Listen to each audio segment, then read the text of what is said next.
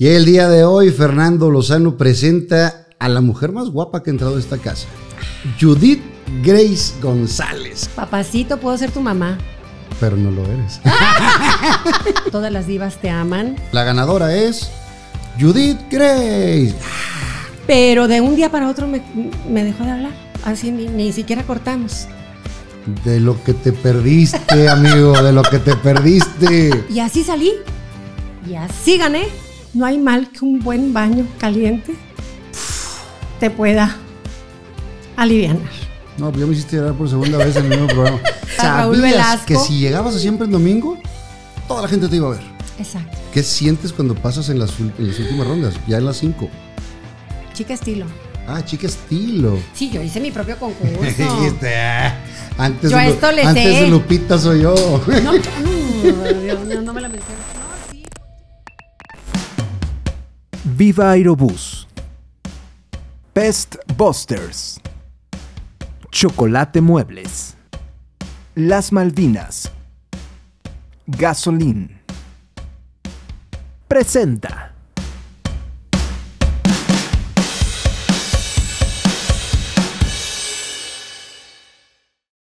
Y el día de hoy, Fernando Lozano presenta a la mujer más guapa que ha entrado a esta casa, Judith Grace González. ¿Cómo ¡Qué estás? gustazo! Te quiero agradecer, primero porque sé que no haces este tipo de entrevistas. Haces muy pocas entrevistas, no te gusta hablar de tu vida, pero pues, hay mucha gente que, que te conoce, que te quiere de toda la vida y quiere conocer tu historia. Y entonces te quiero agradecer porque que hayas decidido venir aquí y sabes que se te quiere y se te admira y se respeta, que es lo principal. Muchas gracias. Gracias, Fer. Feliz de estar aquí contigo, con tu público. La verdad era una cita ya muy esperada. Muy platicada. Muy platicada. Ya platicaremos por qué. Pero este, pues también, eh, mucho aprecio, mucho cariño por tu familia. Tuve el gusto de conocer a tu mami, a tu hermana. Eh, todas las divas te aman por diferentes razones. Y pues bueno, entonces. Ahorita platicamos también de, de las divas, que es un grupo que, que tienen muy sui generis. Te voy a platicar mi primer recuerdo que tengo tuyo. Mm. Aparte de, de que fue una conmoción en la ciudad, porque fuiste la primera señorita de Nuevo León. Nunca había habido una, una representante de belleza de Nuevo León que, que haya eh, ganado eh, el Miss México. Fuimos, mi familia y yo, o mi papá, tengo el recuerdo de mi papá y yo, Sí. a la Secretaría de Relaciones Exteriores a hacer un pasaporte. Ajá. No sé por qué razón tú estabas ahí sacando también un pasaporte, eh, porque te tenías que ir al, al Miss Universo, o algo tenías que hacer, Ajá. y era toda la oficina, era ahí está Judith Grace. Sí. Y mi papá, bueno, estaba con el ojo. Afortunadamente ya no está mi madre ni mi padre para que me regañen, pero mi papá estaba así como guapísima. De ese Muchas entonces, eh, estamos hablando de, del 81, 82. 81. 81 que ganaste y a lo mejor Yo el 82 fue. Entregué el- en el 82, pero fue un año muy especial. Pero vámonos a los inicios. Naces A un ver. 7 de septiembre Así de es. 1900. 62. Eh, pues es lo mismo. A mí no me da problema el número. ¿No te da problema la edad? No, nunca, fíjate, gracias a Dios. Así era mi madre también. Y la neta es que, digo, ahorita todo se sabe con las redes, todo te investigan. ¿Para qué dices que tienes una edad? si y luego no, concuerdan las cosas, ¿verdad? Está muy raro. O sea, tengo 40 y mi hija 35, pues mande. No salen No salen. Pero fíjate, a mí hasta en LinkedIn me hacen un año más viejita, me ponen del 61. 61. Sí, soy del 62. Pues hay que buscarle ahí para corregir esa, sí. esa parte. Ajá. Eh, ¿Naces en Aquí en Monterrey. Monterrey, Nuevo León? Sí. Hija de. De César González, mexicano de aquí, y mi mamá, Regina Hinks McCarthy, que era de Chicago, Illinois. Eh, ¿Hermanos? Eh, fuimos cuatro, mi hermana Ginny, que es la mayor, eh, vive ahora en McAllen, eh, mi hermano Güero, César González, que bueno, a los últimos días vivió en San Antonio, ya falleció, este, y Tomás, que aquí está conmigo en Monterrey, y yo, Excelente. ¿En, en qué colonia naces? en el country. Ok, eres sureña. sur. Ajá. Cuando estaba empezando el country, o sea, mi papá fue el que puso el primer supermercado que era el Super Country. Entonces, Ok, eso este no sabía. era referencia porque entonces Sí. nosotros éramos la familia del super. Mi mamá la señora del super, los hijos del, del super y así, ¿no? ¿Dónde estudiaste? En eh, la primaria en el anglo español, este, ahí cerquita, nos íbamos a pie. La secundaria en la famosa Torres Bodet, secundaria número 11. Es- es- eras de la high. De la Jaime Torres Bodet. Me quedé yo. Sí, claro, pero era, uy, eh, no, yo creo que fueron. ahí. sí. Pero vámonos a, a la primaria. Ajá. Eh, ¿Eras buen estudiante? Sí, fui una niña siempre muy, muy aplicada, muy responsable, muy eh, deseosa de, de sacarme Buenas calificaciones. buenas calificaciones y de que la gente estuviera contenta conmigo. ¿Qué, qué veías en la televisión? Uy, Pipo, Claro. pero por supuesto.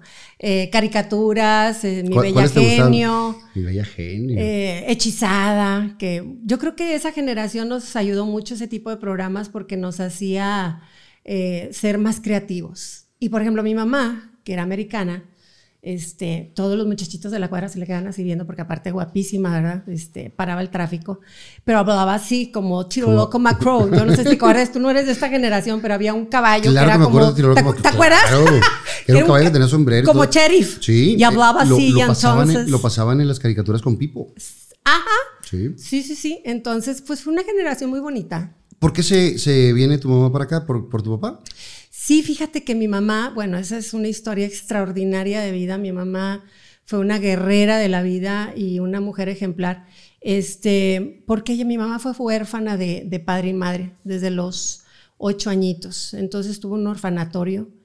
Y cuando salió de ahí, eh, conoció a mi papá, que mi papá se fue muy joven para allá para trabajar, pues para conocer, eh, digo, dominar el idioma y pues abrirse camino. Se conocieron, se enamoraron y mi papá se la trajo para acá. Entonces mi mamá de 16 añitos se vino aquí, Súper joven. súper joven, se casaron y, este, y aquí abrieron camino. Eh, ¿Tú creciste con la cultura mezclada? Eh, ¿O más, o más eh, tirándole a lo mexicano? Porque digo, finalmente, aunque, aunque seas hija de un mexicano y vivas en, en Monterrey, a lo mejor tu mamá tenía costumbres más, más gringas. Sí, algunas cosas, eh, por ejemplo, a mi mamá le gustaba mucho hacernos de merendar, este, y, fíjate, ahora que cuando a veces de repente y lo hago inconscientemente, mi mamá nos hacía pan tostado con, con mantequilla y crema de cacahuate y era así como un momento, ah, y en aquellos entonces cuando uno salía con los muchachitos, con los, con los niños a jugar, pues andabas en la calle, entonces era el grito pelado de las mamás así de Claro. que a merendar y entonces nos íbamos a la casa. Y entonces tú le decías así a alguien que te cayera muy bien, ¿quieres ir a mi casa a merendar? Entonces, pero obviamente toda mi niñez fue más marcada por, por el lado de mi papá, claro. que mi papá era una persona eh, peculiar, vamos a llamarlo así, porque era muy muy Fuerte, fuerte, recio. muy, muy, sí, sí. Así, así era la parte de, de mi mamá. Mi abuelo, que paz descanse, era militar español. Entonces él traía muy arraigada la, la educación militar y crecieron con esa manera muy cuadrada de que, co- como si fuera el campo militar, ¿no? Sí. Y, y mi mamá trató de romper ese patrón. A lo mejor muchas veces te vas hasta el, hasta el otro extremo, pero mi mamá de repente le salía ese, esa Es- parte. esa fuerte. célula. Claro que, que El la ADN. Ahí, ahí guardada. Después entras a la, a la Torres Bodet. Eh, en ese momento, ¿qué querías ser de grande? ¿Qué te imaginabas que ibas a hacer? Em, yo creo que eh, no tenía muy claro en la secundaria qué quería hacer, porque la verdad vivimos nosotros el divorcio de mis padres, pero anterior al divorcio pues fue un día para otro que mi mamá se fue de la casa, entonces vivimos un... un ¿Por lo mismo fuerte de tu papá? sí, había muchos ay, gritos, sombrerazos, golpes, porrazos, insultos, bullying, maestría sobre el bullying, más sobre mis hermanos, yo creo que yo fui privilegiada en, en ser la última, porque yo creo que ya lo agarraba cansado. Por esa misma educación machista, a lo mejor también, ¿no? Sí, que la muy pesado. no. Qui- Quiero platicarte cosas, pero más light, porque el señor ya falleció y pues yo creo que ya ahorita ya depuró todo lo que hizo mal en la vida y, y yo creo Y que, que ya... nadie somos nadie para juzgar a nadie. Y ahorita ya él está en otra, en otra onda. Pero creo que esas acciones influyen en tu vida, definitivamente. Entonces, este, mi papá era esa idea. Entonces, mi papá era muy, muy de, por ejemplo, yo le dije, ay, papá, pues yo quiero estudiar. Yo me acuerdo que, que este, me quería meter a comunicación y quería hacer cosas y me decía, no, tú no, tú eres mujer, tú a trabajar. Entonces, yo trabajé desde muy chiquita. ¿En el súper? No, ya no tenía el súper mi papá. Mi papá este, lo hizo mil cosas, porque eso sí era bien chambeador y era buenísimo. Te vendía el aire que respiras. Pero este, no, me metí primero a una revistería, hazme el favor, en, eh, por el TEC que me consiguió ese trabajo una... Publicaciones Mac.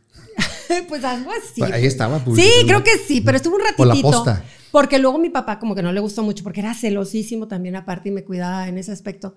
Me fui de obrera a Burros Welcome de México, una, una planta de medicina, una, sí, una planta que hacían ahí medicinas y yo estaba en, la- en el departamento de empaque.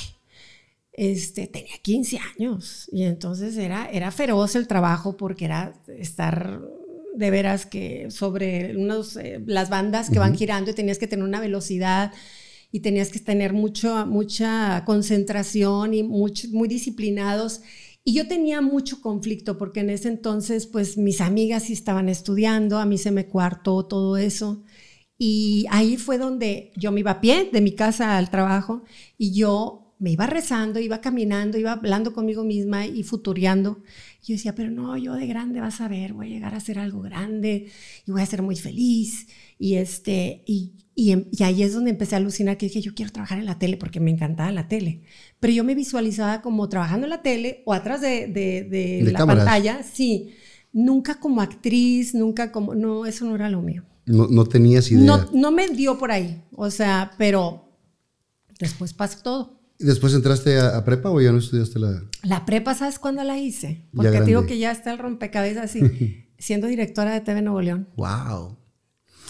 Ahí nos da un ejemplo que la constancia y la friega te puede llevar a algún lugar aunque no tengas la- la- los estudios en el papelito. Sí. Porque la calle enseña muchas veces mucho más. Mucho, no, y aparte, por ejemplo, yo no estaba contenta trabajando donde estaba trabajando, eh, no por, por el trabajo, porque era muy honorable, sino porque yo quería hacer más cosas. Y entonces yo estudiaba en las noches y eh, todo lo que me enseñaban, o lo que me quedó de mecanografía, taquigrafía, para poder brincar a tener un secretariado. Y entonces de ahí brinqué a trabajar en Polibank Innova, que era un banco Sí, que estaba en el centro.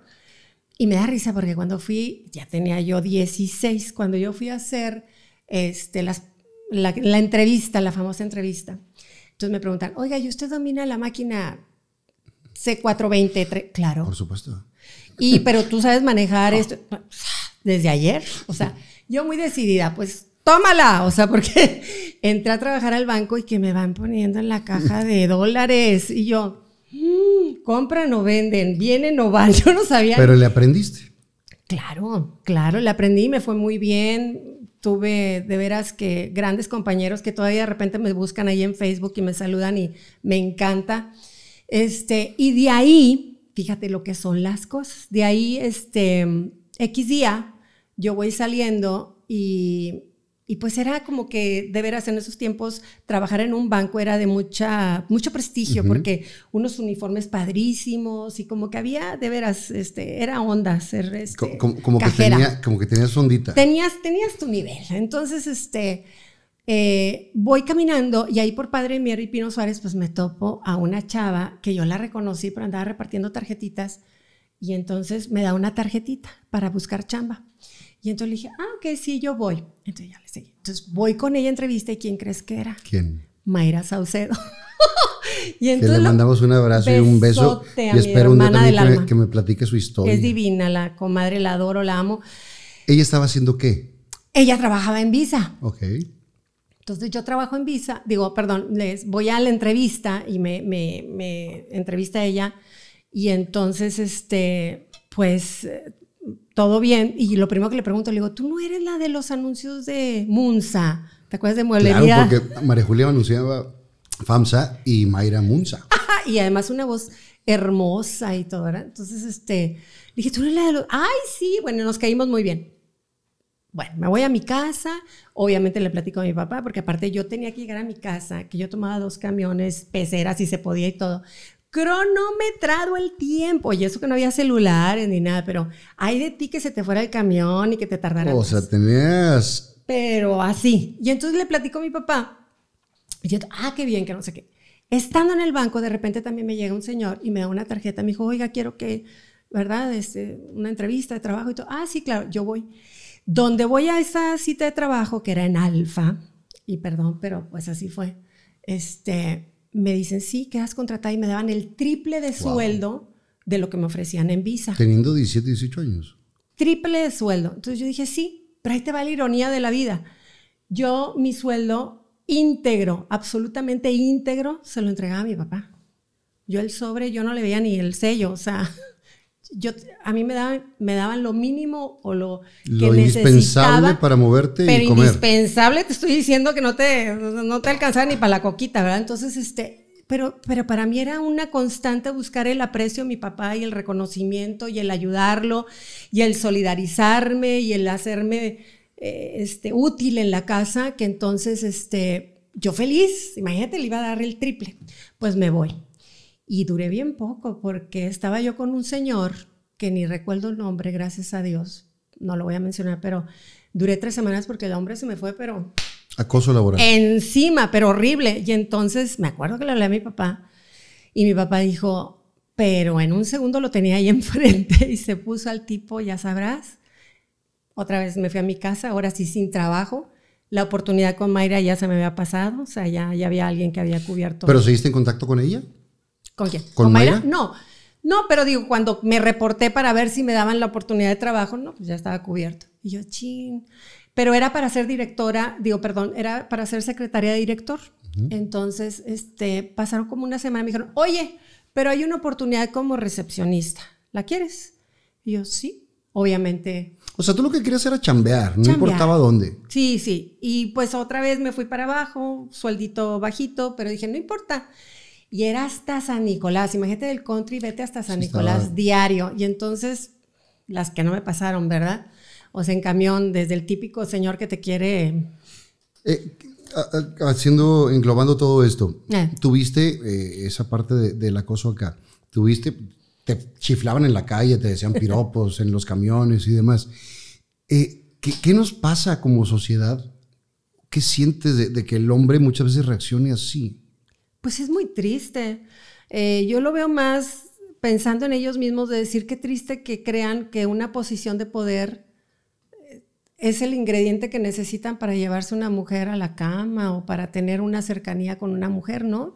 Porque lo interesante sería pues que por, por tu seducción misma, Claro, por supuesto, no, no por una posición económica o ahora que está tan de moda la palabra del sugar daddy, que, que, digo, para bailar tango se ocupan dos, definitivamente, eh, quien lo hace y quien lo recibe. Pero, ¿dónde está esa parte de voy a conquistar, voy a, eh, a enamorar? Y si lo vas a hacer, que sea porque realmente te gusta y lo quieres hacer, la- la- que esté enamorado. Porque también sería muy padre el mundo si fuéramos muy claros. Oye, ¿sabes qué? Me gustas, pero no quiero nada serio. Y hablas las cosas claras y no hay eh, broncas después. Exacto. Ni enamorar. Yo viví, tú conoces a mis hermanas, eh, que muchos novios sufrieron por varios novios. Entonces dije, ¿qué necesidad de estar enamorando a una mujer para llevártela a la cama? Si las cosas son directas, son directas, pero platicadito. Sí, y aparte también, este, pues es- depende de, la situación y depende de- del trasfondo y de lo que tú quieras o hasta dónde quieres sacrificar, porque a final de cuentas, pues todo mundo tenemos eh, el momento en que estás contigo solas y dices, ¿valdrá la pena esto? Tendrá su razón de ser, o sea, te sientes bien contigo mismo. Y la verdad, fíjate que yo mm, te podría decir, y con la cabeza muy en alto, que, que, que siempre he sido muy dura con, con ah, yo digo hasta aquí Y hasta ahí. hasta ahí, y este, tope donde tope y Claro. como sea. Y bueno, pues así fue, entonces, este, Empiezas de- como secretaria. como secretaria, pero no, pero se- empecé a recepción y entonces ahí te va, porque eso es como que parte de mi ADN. Eh, como estaba yo, vi- estaba tan lejos en San Nicolás, pues ni remotamente irte a tu casa a comer, este, y pues la verdad, entonces yo siempre era la complaciente que trataba de que ayudaba a la gente, que en- estábamos en el centro de capacitación de visa, entonces había que preparar cursos. Entonces ya sabes que se ocupan que las copias, engargolar, acomodar, acomodar el salón, acomodar el, el servicio. Y tú siempre Y yo acomedida. siempre acomedida porque yo estaba ahí de okis, vamos a llamarle la hora de comida. Y eso me hizo gan- gangrearme y el que me quisieran tanto en ese departamento que te diré que en cuestión de meses yo ya estaba como secretaria del director porque...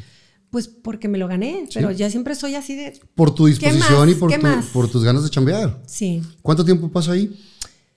pues como un año, porque de ahí fue... De ahí viene ya la, de ahí viene el la historia el del certamen. Ahí estando ¿Cómo- ahí. ¿Cómo llegas al certamen?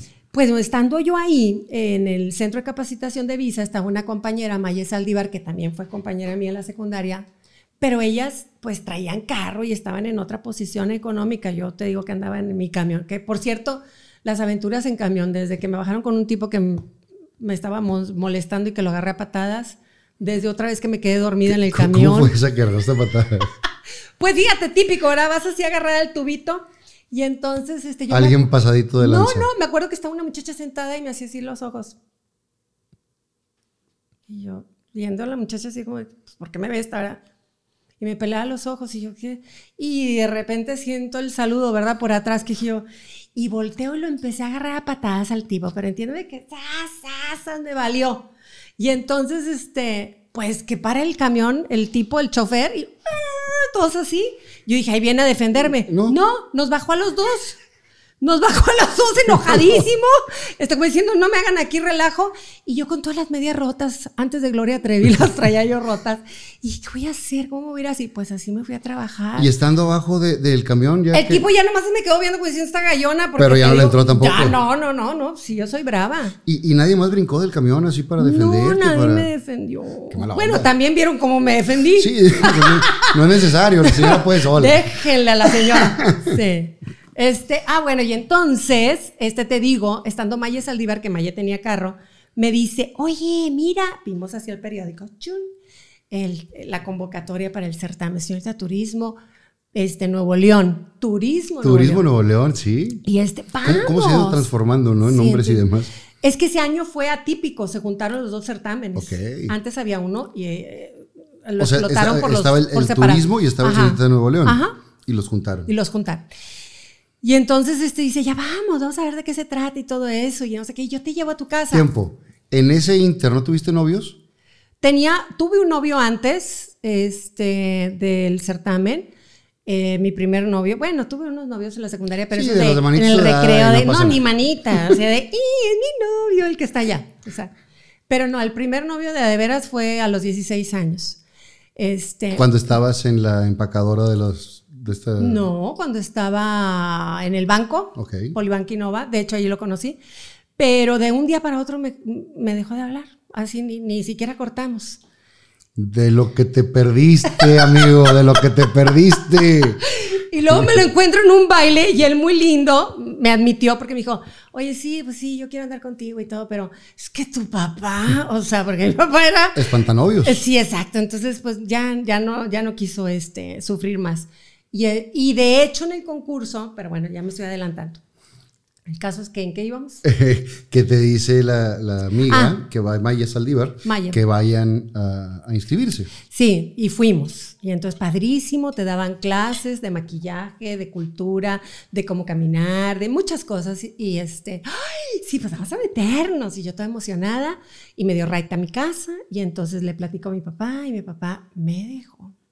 Dije, órale, el que era... Wow, que súper machista y tan recio. Sí, yo te platicara. Fíjate, el traje de baño anterior que yo usé al concurso era uno que se usó en aquellos años que eran como de batita y calzoncito. Ajá. El mío traía holán. O sea, aparte, aparte del largo de la batita, Todavía traía volante. todavía traía holán. O sea, como, no le- como de los años 40. Ay, sí, pero porque mi papá, o sea, que, ¿verdad? O sea, sí era de esas ideas. Pero bueno, este pues me dejó.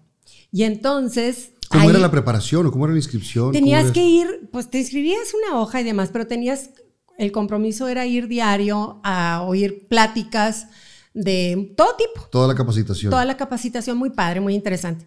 Entonces, en el transcurso de esa capacitación, una vez ahí en el centro parada esperando el camión, volví a ver a mi novio y me vio y como que dijo, ay, ¿qué andas haciendo aquí? Que no sé qué, ¿verdad? y volvimos. Ok. Pero fíjate, volvimos en un tiempo pues medio raro porque pues yo ya estaba muy ocupadita entre mi chamba y el concurso y todo, pues como que no había mucho tiempo de noviar, ¿no? Pero entonces, y toda velocidad cañón, ¿no? Porque pues te digo, fue muy poco el tiempo realmente de preparación. Tan fue poco el tiempo que a Maye, el novio, no la deja participar. Su ahora marido. O sea, le dijo, no, no, no, tú no. Entonces me quedé sola. Entonces, este, O sea, nomás te cuchileó me cuchilleó y me quedé yo. y, y te quedaste. Eh, ¿Qué otras compañeras estaban ahí? Pues... ¿Alguien que siguió en los medios o no? No, de mi año no recuerdo, no. No.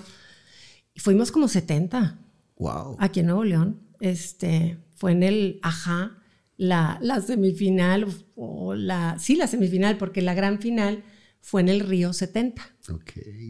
Eh, ¿Te acuerdas del jurado? ¿Te acuerdas de algo así o no? Te voy a platicar algo que todavía está más... Este, pero bueno, pues, ¿verdad? Si por ahí tienen un periódico viejo, quiero mandarle un beso enorme a toda la gente del norte. Altagracia, que yo, Altagracia, ¿te acuerdas de Sí. Altagracia? Este, obviamente Idalia Barrera, Héctor. Rosas, este, no se diga, pues toda la gente. ¿Edgardo no estaba? Edgardo también, claro. Este, y Ramón. Digo, gente que de veras a mí me agarró hacia el norte y eh, me, me- me trató muy bien. Pero les voy a platicar por qué. Este, se viene el concurso, la preparación y todo eso. Acuérdense que yo lo estoy platicando que mis recursos eran muy precarios. Digo, vivíamos en el country, pero la verdad la cosa no estaba muy bien. Pero tampoco fue que pasaron hambre. Eh, pues está, tuvimos O nuestros sea, momentos. esta- estaba difícil, pero tampoco era... Estaba muy feo, así te la dejo, pero no brinquemos este terror. Eh, aquí lo interesante es que entonces ya la que nos estaba coordinando en ese entonces nos dice, oigan, bueno, ya la gran final, les vamos a pedir que se traigan un vestido de calle, un vestido este, de noche y el traje de baño que era el que te regalaban Los ellos, patrocinadores. Los patrocinadores. Dijiste, mija, traigo las medias rotas de los patadas que le di al otro. ¿De dónde saco todo esto? Entonces, yo tenía una muy buena amiga, Alejandra Reyes, le mando un besote, también de la secundaria, que vivía casi casi enfrente de mi casa. Y que ella, eran muchos en su casa, y casi creo me pude haber quedado ahí, hombre, caray, que me adoptaran, ni, se da- ni cuenta se daban. Este, y ella, con ella usaba yo perfumes, y con ella, ahí sonceábamos, estamos en la edad de los bailes de paga en el TEC, y ya sabes. El caso es que este, voy con ella y no está mi amiga, pero está su mamá, que es mi madrina de primera comunión, la doña Lulis, que le mando un beso. Y entonces le digo, doña Lulis, doña Lulis, ayúdeme, porque necesito tener un vestido de calle para el concurso. Ay, mi hijita, ¿y pues qué es un vestido de calle? Pues un vestido de calle, doña Lulis, como para ir al súper, o sea, para salir a la calle. Y pues, ay, pues saqué el closet, saqué uno muy bonito, muy bonito, pero muy sencillito. Entonces, bueno, ya se viene el concurso, estamos este, concentradas ahí en el Río 70, yo queriendo quedar bien con todo el mundo y queriendo agradar a todo el mundo. Pues una de las concursantes... ¿Estaba tu familia ahí? No, yo estaba sola, sola, este, concentrada en el día, durante el día. Y entonces, este, una de las que iba a participar, ay, se me olvidó el cinto, que no sé qué, no sé, alguna cosa. Me acuerdo que nos habían puesto, nos, sí teníamos que nos arreglara y me- a mí me habían enchilado, el- me habían enchinado el pelo, que yo traía el pelo en ese entonces como hasta aquí. Estaba Shangri-La y ya era grande. ¡Ah, cállate! ¡Ay, ya vas a empezar! Saludos a Shangri-La también que Un nos ve. besote a Miguelón, lo amo. Este, y entonces me acuerdo que me hicieron como cuquitas. Entonces, este, pues, y le digo, ay, yo te acompaño, no te preocupes. Ahorita vamos y cinto. volvemos, vamos por el cinto. Ahí vamos, ahí venimos. Entonces me quedé con eso antes, o sea, me quedé más del tiempo. ¿Qué te quiero decir con eso? Que el pelo tú le hacías así. Y y, era un resorte. Entonces lo traía yo como Pepita la de Lorenzo. O sea, número uno. O sea, que tú dices, ustedes me comprenderán, amigas, este, cuando tú dices que quiero verme bien, bien, hoy es una noche especial y todo, y hay algo que no te ayuda, bueno, el pelo. bueno. Y entonces yo dije, bueno, no, no- te mortifiques. Entonces, para esto llego y me escondieron mis zapatos. O sea, sí se da ese tipo de Ah, cosas. claro, son condenadonas, pero dije, bueno, ahorita salen, ¿verdad? Porque entonces yo le mando a hablar a la coordinadora y le digo, oye, no están mis zapatos. Y además eran los, mis zapatitos. Entonces me dice, ¡ey! Y entonces las pone todas en orden. Mágicamente aparecen los zapatos después de la regañiza que dio. Y entonces este dice, por favor, ya, cámbiense, porque ya el tiempo encima y no sé qué. Y me ver y dijo, Judith, cámbiate. Dije, es que yo ya estoy cambiada. Pues tú tenías tu vestido, Mi pero se- le de hizo muy calle, sencillito. con, con amarillito, con un mecatito, pues un cinto de mecate. Imagínate nomás el vestido, nomás por favor, imagínatelo. Y empiezo a ver a las otras que salen los vestidos así, ya saben, con gasas sobre calle. la gasa, los de Y esos calle. eran los de calle. Imagínate dije, el de noche. Ay, no entendí. Yo que yo, ay, Dios mío. Y yo vi la cara como se le transformó a ella así como de que, ah, oh, no te apures, o sea, ya que ya, ya no había nada que hacer, hombre. Y así salí, y así gané. Y la foto más grande que apareció al día siguiente en el Fue la norte. del vestido fue la del amarillito. vestido amarillito con, el, Con el mecatito. Entonces te das cuenta que lo, lo de afuera, esa envoltura es más o menos irrelevante? Pues son cosas que tienes que Que, digo, superar al momento, claro. que tienes que sacar el aplomo, que tienes que demostrar seguridad trayendo lo que traigas y, Y- salieron bien las cosas. A la gente nos encanta juzgar, porque nos encanta juzgar. Y ahora con las redes sociales nos hemos convertido en jueces, porque creemos tener la razón absoluta y escribimos lo, lo que pensamos creyendo que es una verdad. Sí. Yo siempre he dicho, todos tenemos derecho de opinar a, a título personal y con respeto, porque de eso se trata.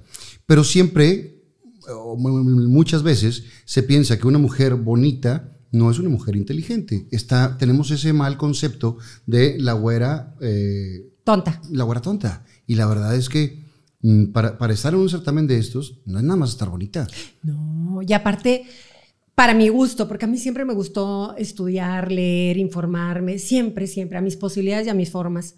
Y entonces tú te tenías que preparar turísticamente hablando, obviamente aquí primero del Estado y luego cuando fui a México, porque como te digo, eran dos certámenes diferentes, entonces sí te calificaban y sí te hacían preguntas duras y aparte no te daban las preguntas, tú no sabías con qué te iban a salir y había que estudiar, pero para mí era algo extremadamente maravilloso y hermoso porque acuérdate que yo me trunqué con mis estudios, entonces para mí fue una forma de canalizar esa necesidad que yo tenía de sentirme que estaba en lo que debía de estar estudiando en esa ¿Te en- gustaba toda esa parte del ambiente sí, y demás? Sí, sí, y aparte, pues este, sabía que de algo bueno iba, que esa iba a ser mi proyección.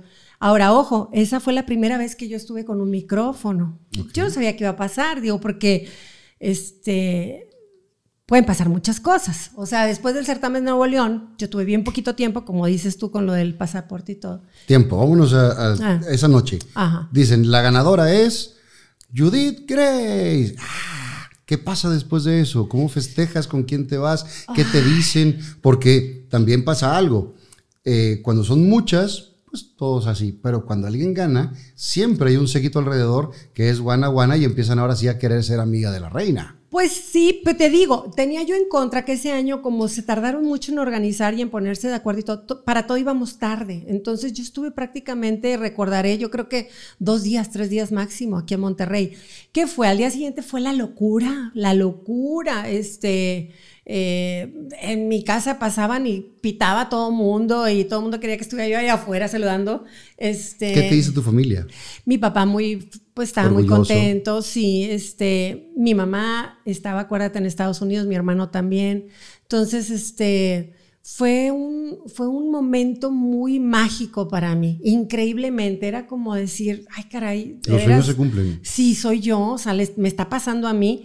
Y te digo, me fui yo a México y ta- me fui yo a México y estaba, eh, este, participando yo en el certamen nacional y me mandaron las cosas que necesitaba para el certamen, porque no tuve nada de tiempo para quedarme aquí, como tú bien dices, de que celebración y esto y lo otro. Lo único que sí sentí la, el, el apoyo de la gente, la gente estaba súper feliz, primero porque fui señorita Nuevo León, pero bueno, no había nada pasado conmigo, era algo como noticia para la colonia, que era de la colonia country, noticia para la gente que me conocía, para mis familiares. Pero sí sale en la televisión. Sí, pero todavía no había ganado Miss México, o sea, todavía no era esa Ese boom que se efervescencia que se, logró aquí en Nuevo León. ¿Cuáles eran los premios por ganar el, el Nuevo León? En el de Nuevo León me gané, bueno, me dieron el traje típico que era hermosísimo, me dieron este un este colección de ropa Georgette, que eran unos vestiditos así, zapatos, este Ya maquillaje. he perdido traídas más, más Más vestiditos. zapatitos, Más más vestidi- y más vestiditos que el amarillo. Además, ya, ya, ya supe que. No, el, y el amarillo lo había que devolverlo. Cuenta que era prestado. Este. ¿Nunca supiste dónde quedó ese vestido? Pues yo creo que mi amiga lo esquitó ahí un rato. Porque imagínate encontrar ese vestido, estaría padrísimo. sí, sí. Hay, hay, hay prendas, yo tengo dos o tres cosas de mi papá y dos o tres cosas de mi mamá, no por apego, sino por, por un recuerdo y por una... Sí. Pues, ¿cómo, cómo te diré? Es una Sí. emoción de, de tenerlos. de ¿no? verlos. Fíjate que yo tengo como tú una, una vitrina que me la regaló Miguel Ángel Changrila, fíjate, ahorita que lo mencionaste. Y ahí tengo este, cosas muy especiales de todo ese año. Este, partiendo de lo que tú dices. No tengo el vestidito amarillito, pero tengo el traje de baño, tengo el vestido con- de Miss México, tengo la corona de Nuevo León, de México, tengo todas las llaves de todos los hoteles del mundo que visité, este, porque fueron muchos. Y esa es una parte de un museo personal. Sí. que, que dices, ok, fue una parte de mi historia, pero tus nietos ven eso y a lo mejor tus bisnietos, que, que ojalá falte un rato porque todavía es una mujer muy joven, eh, los van a ver y van a, van a entender la historia de, de la de abuela. abu. Claro, sí, y aparte, este, pues todo, todo, todo tiene un recuerdo y una historia eh, especial, ¿no? Te vas a México, Me voy a México. te mandan las cosas, ¿cómo es la preparación allá? ¿Más fuerte que la de acá? Sí, porque te digo, también iba tarde, entonces, hasta el Miss Universo, ¿eh? Así que no crean que. Y yo soy súper puntual, no era problema mío.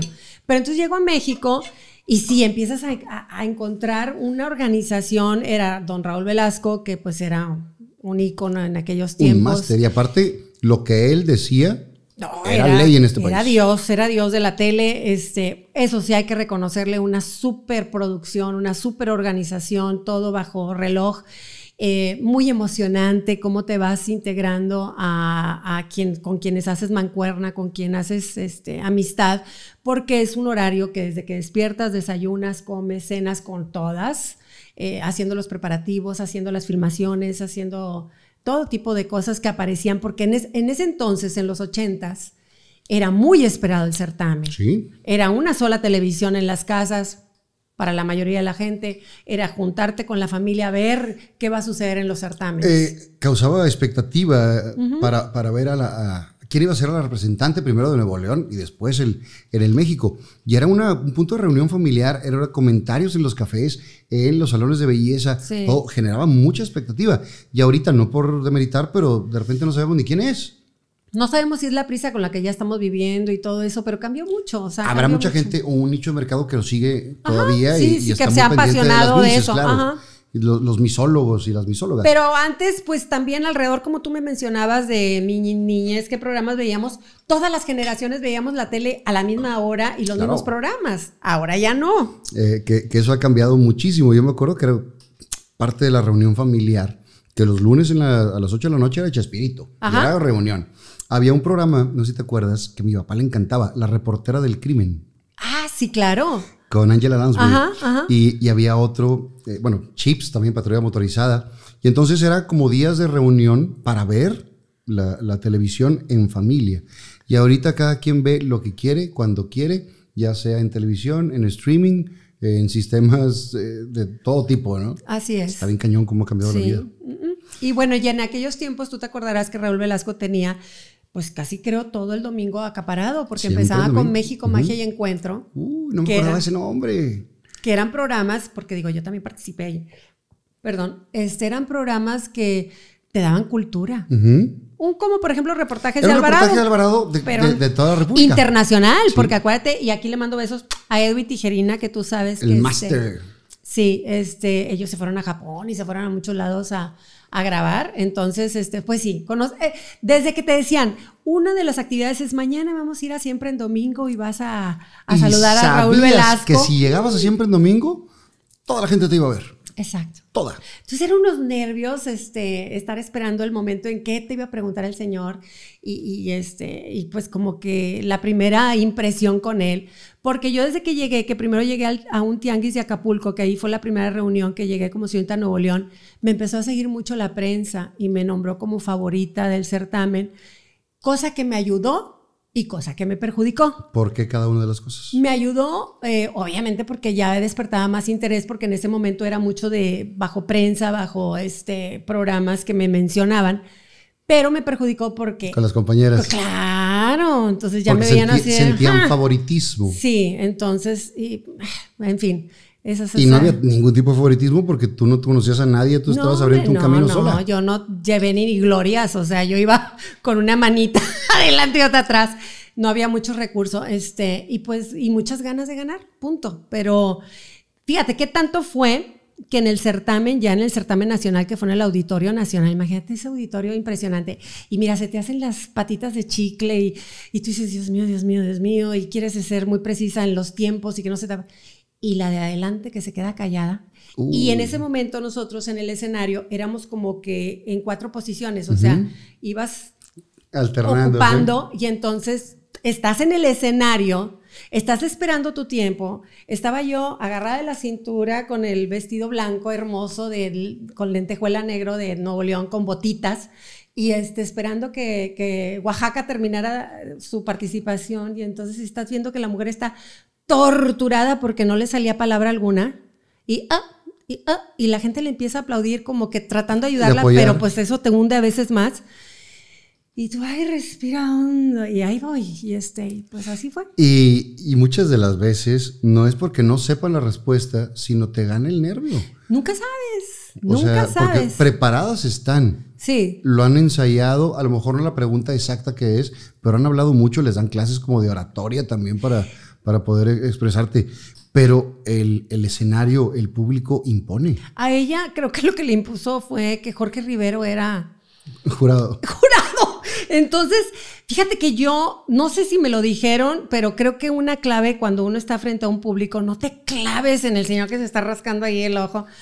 Tú ve así como que un monstruo de mil ojos, sí, ves y no ves. Eso ayuda mucho. Y obviamente dominando, como por ejemplo a mí me encanta cómo domina eh, este, el, escenario. el, escenario. Obama, ¿verdad? O sea, el señor tenía un arte para hablar que seducía. Claro. Y entonces, este, y lo sigue haciendo. Eh, a la pobre de Oaxaca le pasó eso. Y también te presiona a ti porque sigues que no me vaya a pasar. Exacto. Sí, sí, sí. Sí estuvo. Mira, te lo cuento y me vuelvo así como que, ay, Dios mío, qué cosas. Eran eh, los 31 estados y el Distrito Federal en ese momento, que eran todos los participantes. Ajá. Y se va haciendo cada vez menor, ¿no? Sí, 12, 5 y 1. Híjole, ¿qué sientes cuando pasas en las, en las últimas rondas? Ya en las 5. Pues un nervio otra vez es ¿Cómo como... le haces para que no tiemble la, la patita? No, me temblaba no todo, corazón, me temblaba todo, hasta, la, hasta, las neuronas. No, no, no, me, todo. Y, yo creo que, bueno, esto sí ya es cada quien de su cosecha, qué tan creyente eres o algo, pero yo creo que de veras esto fue un regalo inmenso de Dios, un regalo, porque, porque ni me siento la más hermosa de México, ni lo fui en ese momento, no, porque esos son circunstanciales, este, las situaciones, o sea, hay mujeres hermosísimas que te las puedes encontrar de todos lados, ni la más culta ni la más inteligente, pero, pero en ese momento Dios me dio eh, de veras eh, el, el, el, mensaje ideal, porque hay gente que pasado el tiempo, y me acaba de pasar con el hermano de un exnovio, que lo vi, que vivían, que vive en Canadá, que tú lo conoces. Sin decir marcas porque no quiero Sí, broncas. no, pero que me, me repitió exactamente lo que yo dije en el momento en que me hizo la pregunta Raúl Velasco y tú dices, ¿cómo es posible que se acuerden y al dedillo de qué dije y cómo lo dije? Y, ay, Dios, qué Es que qué uno chulada. no sabe la, la, la, potencia que puede tener un micrófono, un momento, y, cómo marcas a alguien. Alguien lo podrá decir como que eh, pues es un simple concurso de belleza superficial y a otra persona le cambiaste la vida. Sí, fue padre, porque aparte, pues yo creo que también fue como que Raúl Velasco me la soltó así, porque quieras o no, pues eh, el prototipo de belleza, o sea, que yo me vea güera. Bueno, me acaba de pasar, ayer fui a los pasaportes con mi hija y se acerca la señora y me dice, ¿hablas español? Y yo, ay, Dios mío. O dice, sea, solo un poquito. solo un poquito. Entonces, este, me la soltó por ahí, ¿no? O sea, de que los rasgos porque, internacionales y porque todo eso. somos buenos para juzgar. Y eh, bueno, por ahí me solté con mucho coraje. Mucho ¿Quién es el jurado? ¿Jorge, eh, Jorge Rivero? Mauricio, Mauricio Fernández. Okay. Ahí lo conocí como jurado mío. Entonces le tengo mucho cariño y aprecio porque aparte este, fue muy lindo. Lo conocí ahí con su primera esposa, con Normita. Este, ¿Quién más te diré? Bueno, esos son los más que emblemáticos que me acuerdo, para mí importantes. Este, no sé si José José también. ¿Quién, quién te acompañó al, al certamen? ¿O estaba sola ya? No, fíjate, bueno, Mayra Saucedo fue a verme. Este, me fui con la gente de, de, turismo, pero allá este, fue mi papá, fue es la esposa, no, fue mi papá solo, creo. Fue mi papá uh, esa noche, este, y nada más. ¿Ya no tenía novio? Fue el novio. O sea, el novio que te volviste a encontrar en el camión. Sí, sí, fue el novio. Y me acuerdo porque luego. Es... ¿Qué, ¿Qué, te decía? ¿No eras celoso en ese momento? No, pero es que no podía tener yo contacto con él. O sea, tú estás este, guardadita en un hotel. Como eh, concentración de futbolista. Ah, exactamente. Entonces fue muy chistoso porque luego me preguntaban en el periódico, oye, ¿y qué dice el novio? Y el novio, y el novio. Y yo en realidad, pues, con Jorge, que le mando un saludo si por ahí anda, no sé nada de él, este, pero a mí cuando gano me dan un, así un decálogo de todo lo que puedes hacer y no puedes hacer. Y no podías tener novio.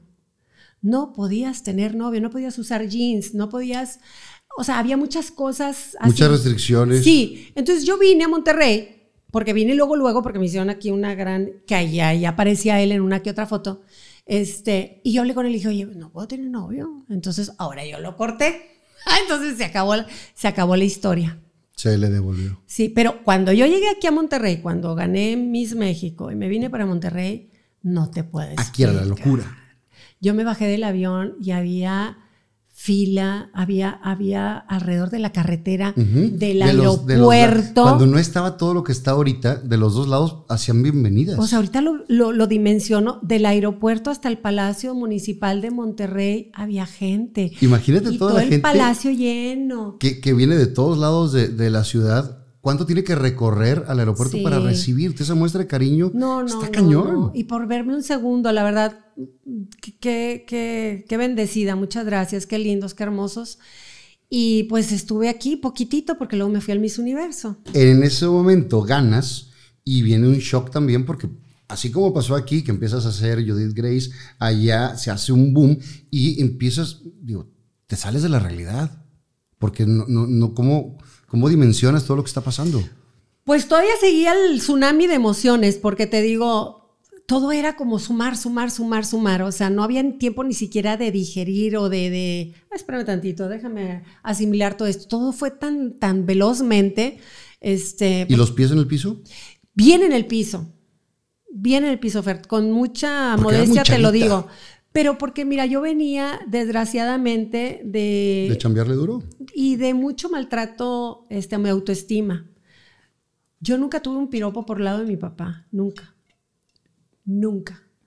Yo siempre fui muy maltratada en ese sentido y entonces el de no creerte nada, el de "X, ni bonita estás, o sea, me explico, cosas muy feas que todo esto que te estoy platicando, yo sentía como de que me hablan a mí, o sea, soy yo de veras. ¿De o sea, verdad me está pasando? De verdad me está pasando a mí. Te estoy hablando de una chava de 15 años que no tuvo ni 15 años. Te estoy hablando de una chava que no sabía lo que era tener mi propio maquillaje, mi propio perfume. O sea, cosas así que tú dices, ¿de qué querías que yo fuera vanidosa?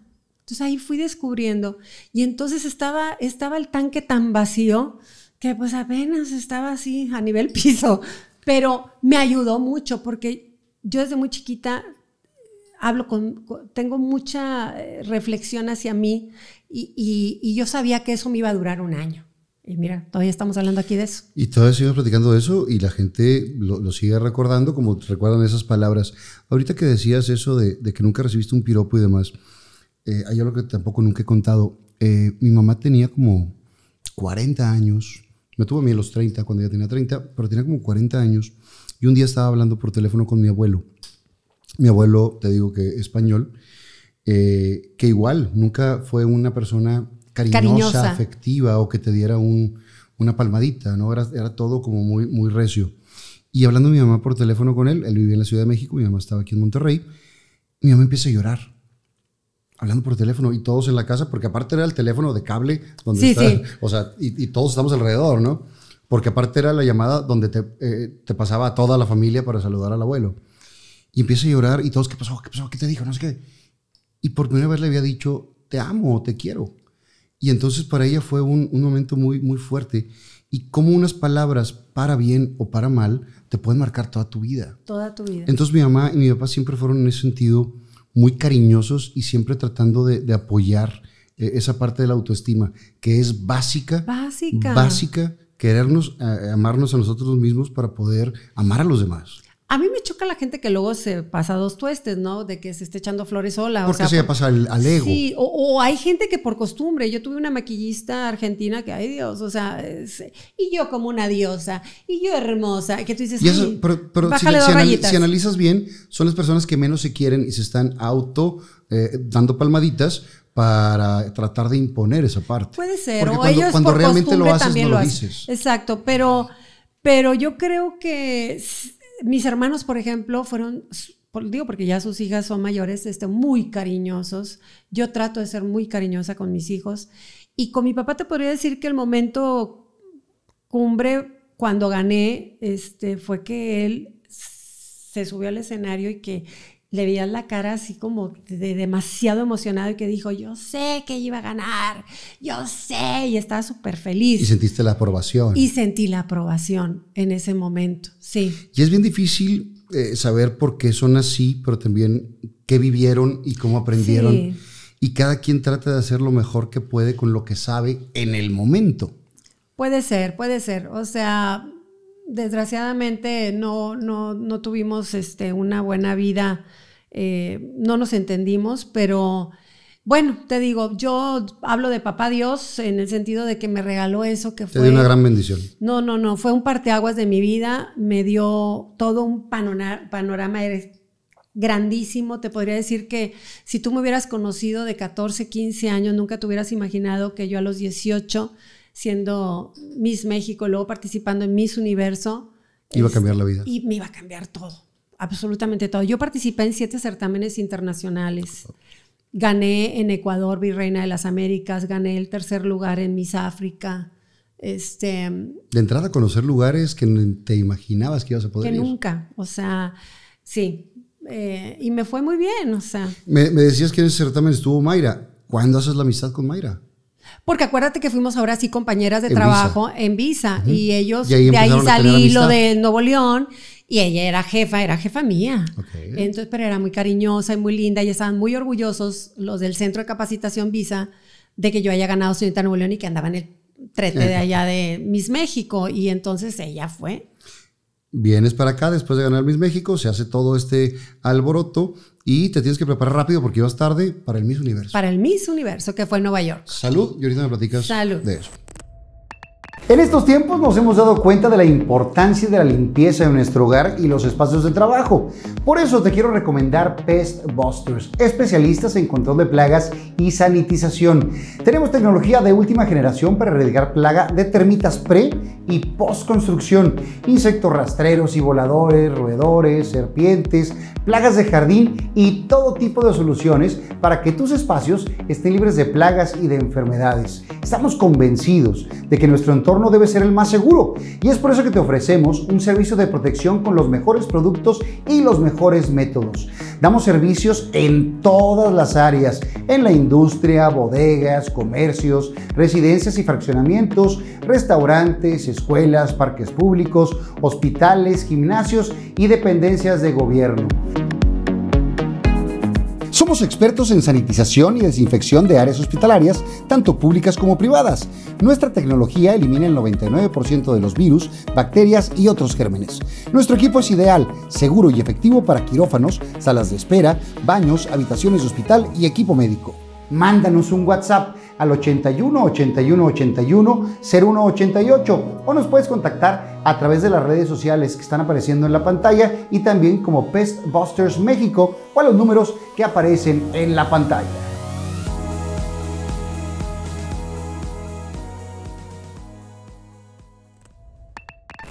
Salud. ¿Qué tiene esto, oye? Porque como que hay suero de la verdad o hay algo. Se me hace que Roberto Flores te dejó aquí. Mi compadre dejó tequila ahí. No, de, de procurador a lo mejor algo que aplicaba él para. No. ¿No? Sa- y sabes que para que la gente sepa, Mm. le puse la copa, pero es, es refresco light. Nada La verdad- más. La verdad es puro más. refresco light. Y parece que yo estoy tomando whisky, pero no, este.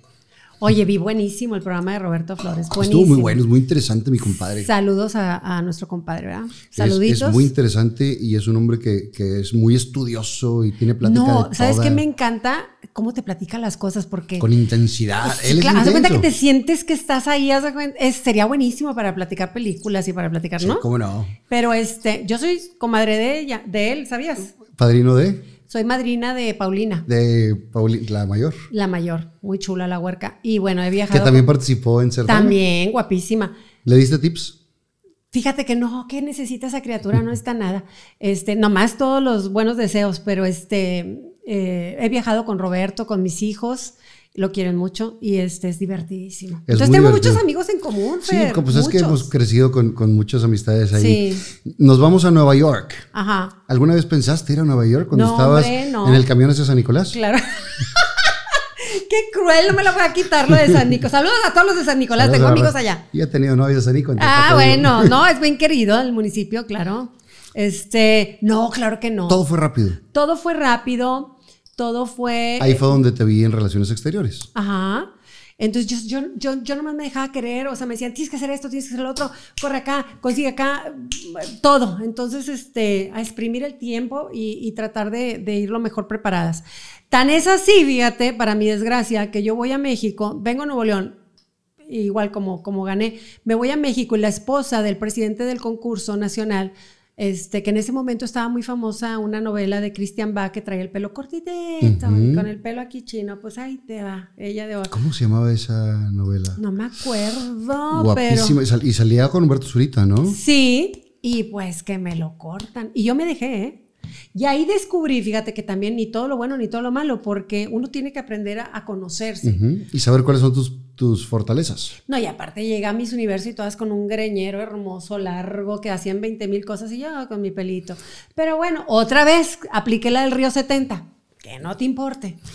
Eh, en ese entonces no, no está como ahora la- el avance de las cirugías y todo, porque ahorita pues, te pueden convertir sin ningún Ah, claro. Pero en ese entonces era como muy natural. el Muy certamen. natural. Estaba por ahí eh, rumores de que si, ay, fulana trae algo raro, ¿no? Pero eh, no se veía. Eram- éramos mu- muchísimo más naturales, ¿no? Con sus buenas cosas y malas cosas pudiera ser, pero... Y tampoco la vida fitness que, que se vive ahora, porque tampoco el No. ejercicio estaba tan, tan No, intenso era el cuerpo como, Como lo natural. tuvieras. Pero fíjate, Fer, que el, el Miss Universo, que también fueron 77 mujeres en Nueva York, Wow. Este, es medio cruel, porque yo me acuerdo, por ejemplo, de participantes de Malasia y de todos lados, que tenían que ellas eh, hacerse sus preparativos para todos sus, sus, sus este, Arreglos. arreglos. Costea- costeados por ellas. Sí, pero deja tú eso, o sea, toda la preparación que requería y toda su indumentaria y todos sus símbolos de belleza, que obviamente no son los mismos que nosotros pensamos. Entonces, eso sí lo veo así como medio cruel en el sentido que quería haber representante por continente o alguna cosa, porque pues, ¿a quién calificas para ser la más hermosa? Claro, ya es totalmente subjetivo, ¿no? En los últimos años se ha hecho como muy incluyente esta Ajá, parte de- de- ajá. del certamen, porque tratan también como de buscar diferentes estereotipos de cada uno de los lugares, ¿no? Sí. Porque antes eh, veíamos, tú rompiste el, el esquema, porque tú no tienes el, el estereotipo mexicano. ¿No? Y después, durante muchos años, se buscaba la alta trigueña, pelo negro, para representar a México. Así es. Y, vas buscando, y van buscando como personajes Sí. más que la naturalidad. Pues es no que todo, es, todo y es la una moda. es universal, claro. Todo es una moda también, acuérdate. O sea, desde también el prototipo del cuerpo. O sea, en mi tiempo, pues eran las bustoncitas, ¿no? O sea, ahorita pues, ya es que toda la no, atención. también. Pues sí, pero como que toda la atención ahora está en las pompis. Pues ¿No? también. O sea, si se, si se puede todo. pues, Si se ¿qué puede, ¿por qué? Pa- pa- ¿Verdad? Es Si, si en el río 70, que, que eran menos chicas, Mm. Sí. se escondieron los zapatos y demás, ¿qué pasaba en, en un Miss Universo? No, fíjate que en el Miss Universo. Bueno, fíjate, mi roomie, que era Miss España, era Francis Ondiviela. Ok, que fue una gran actriz de novelas. Sí. Y nos hicimos buenas amigas. De hecho, ¿Cómo se llamaba su personaje, la Mal- Malvina? ajá. En, sí, ¿no? En, en la de María Mercedes o Marimar. Sí, sí, sí, sí. Y, y bueno, dentro de mi poco guardarropa, ahí te digo que yo siempre que soy como que muy protectora y que quiero a la gente agradar y la madrito, yo le presté ropa a ella. Fíjate, la de- como dices tú, la del camión de San Nicolás. La del camión. Este, y Porque no, siempre eres muy entregada. Sí, me gusta, me gusta eso. Y no, pero ahí sí es una organización. Entonces te daban mucha ropa en el sentido de que, a ver, todas, todas, absolutamente, vamos a ir mañana a la visita, por decir, al de la Estatua de la Libertad y te daban como una gabardinita. Entonces todas andábamos iguales. Entonces ahí ya no se notaban las diferencias de quién traía, quién no. Eso sí, la de Venezuela resaltaba de una manera impresionante. Eh, Es muy bonito decir, si no traes, que no se te note. Exacto. Ajá. Sí. Pero Irene Sainz, que fue la que ganó, es una muñeca, era un- una muñeca. Estaba dominado como por las venezolanas mucho tiempo, ¿no? Sí, También. Como sí. que tenían. Y las preparaban mucho ya. o Sí, sea, ellas ya, venían de un año Claro. de preparación. Por eso a mí me fue muy bien en los últimos certámenes que participé, porque ya tenía un año dominando. ¿En qué lugar quedaste? En, El en universo. 17. Ok.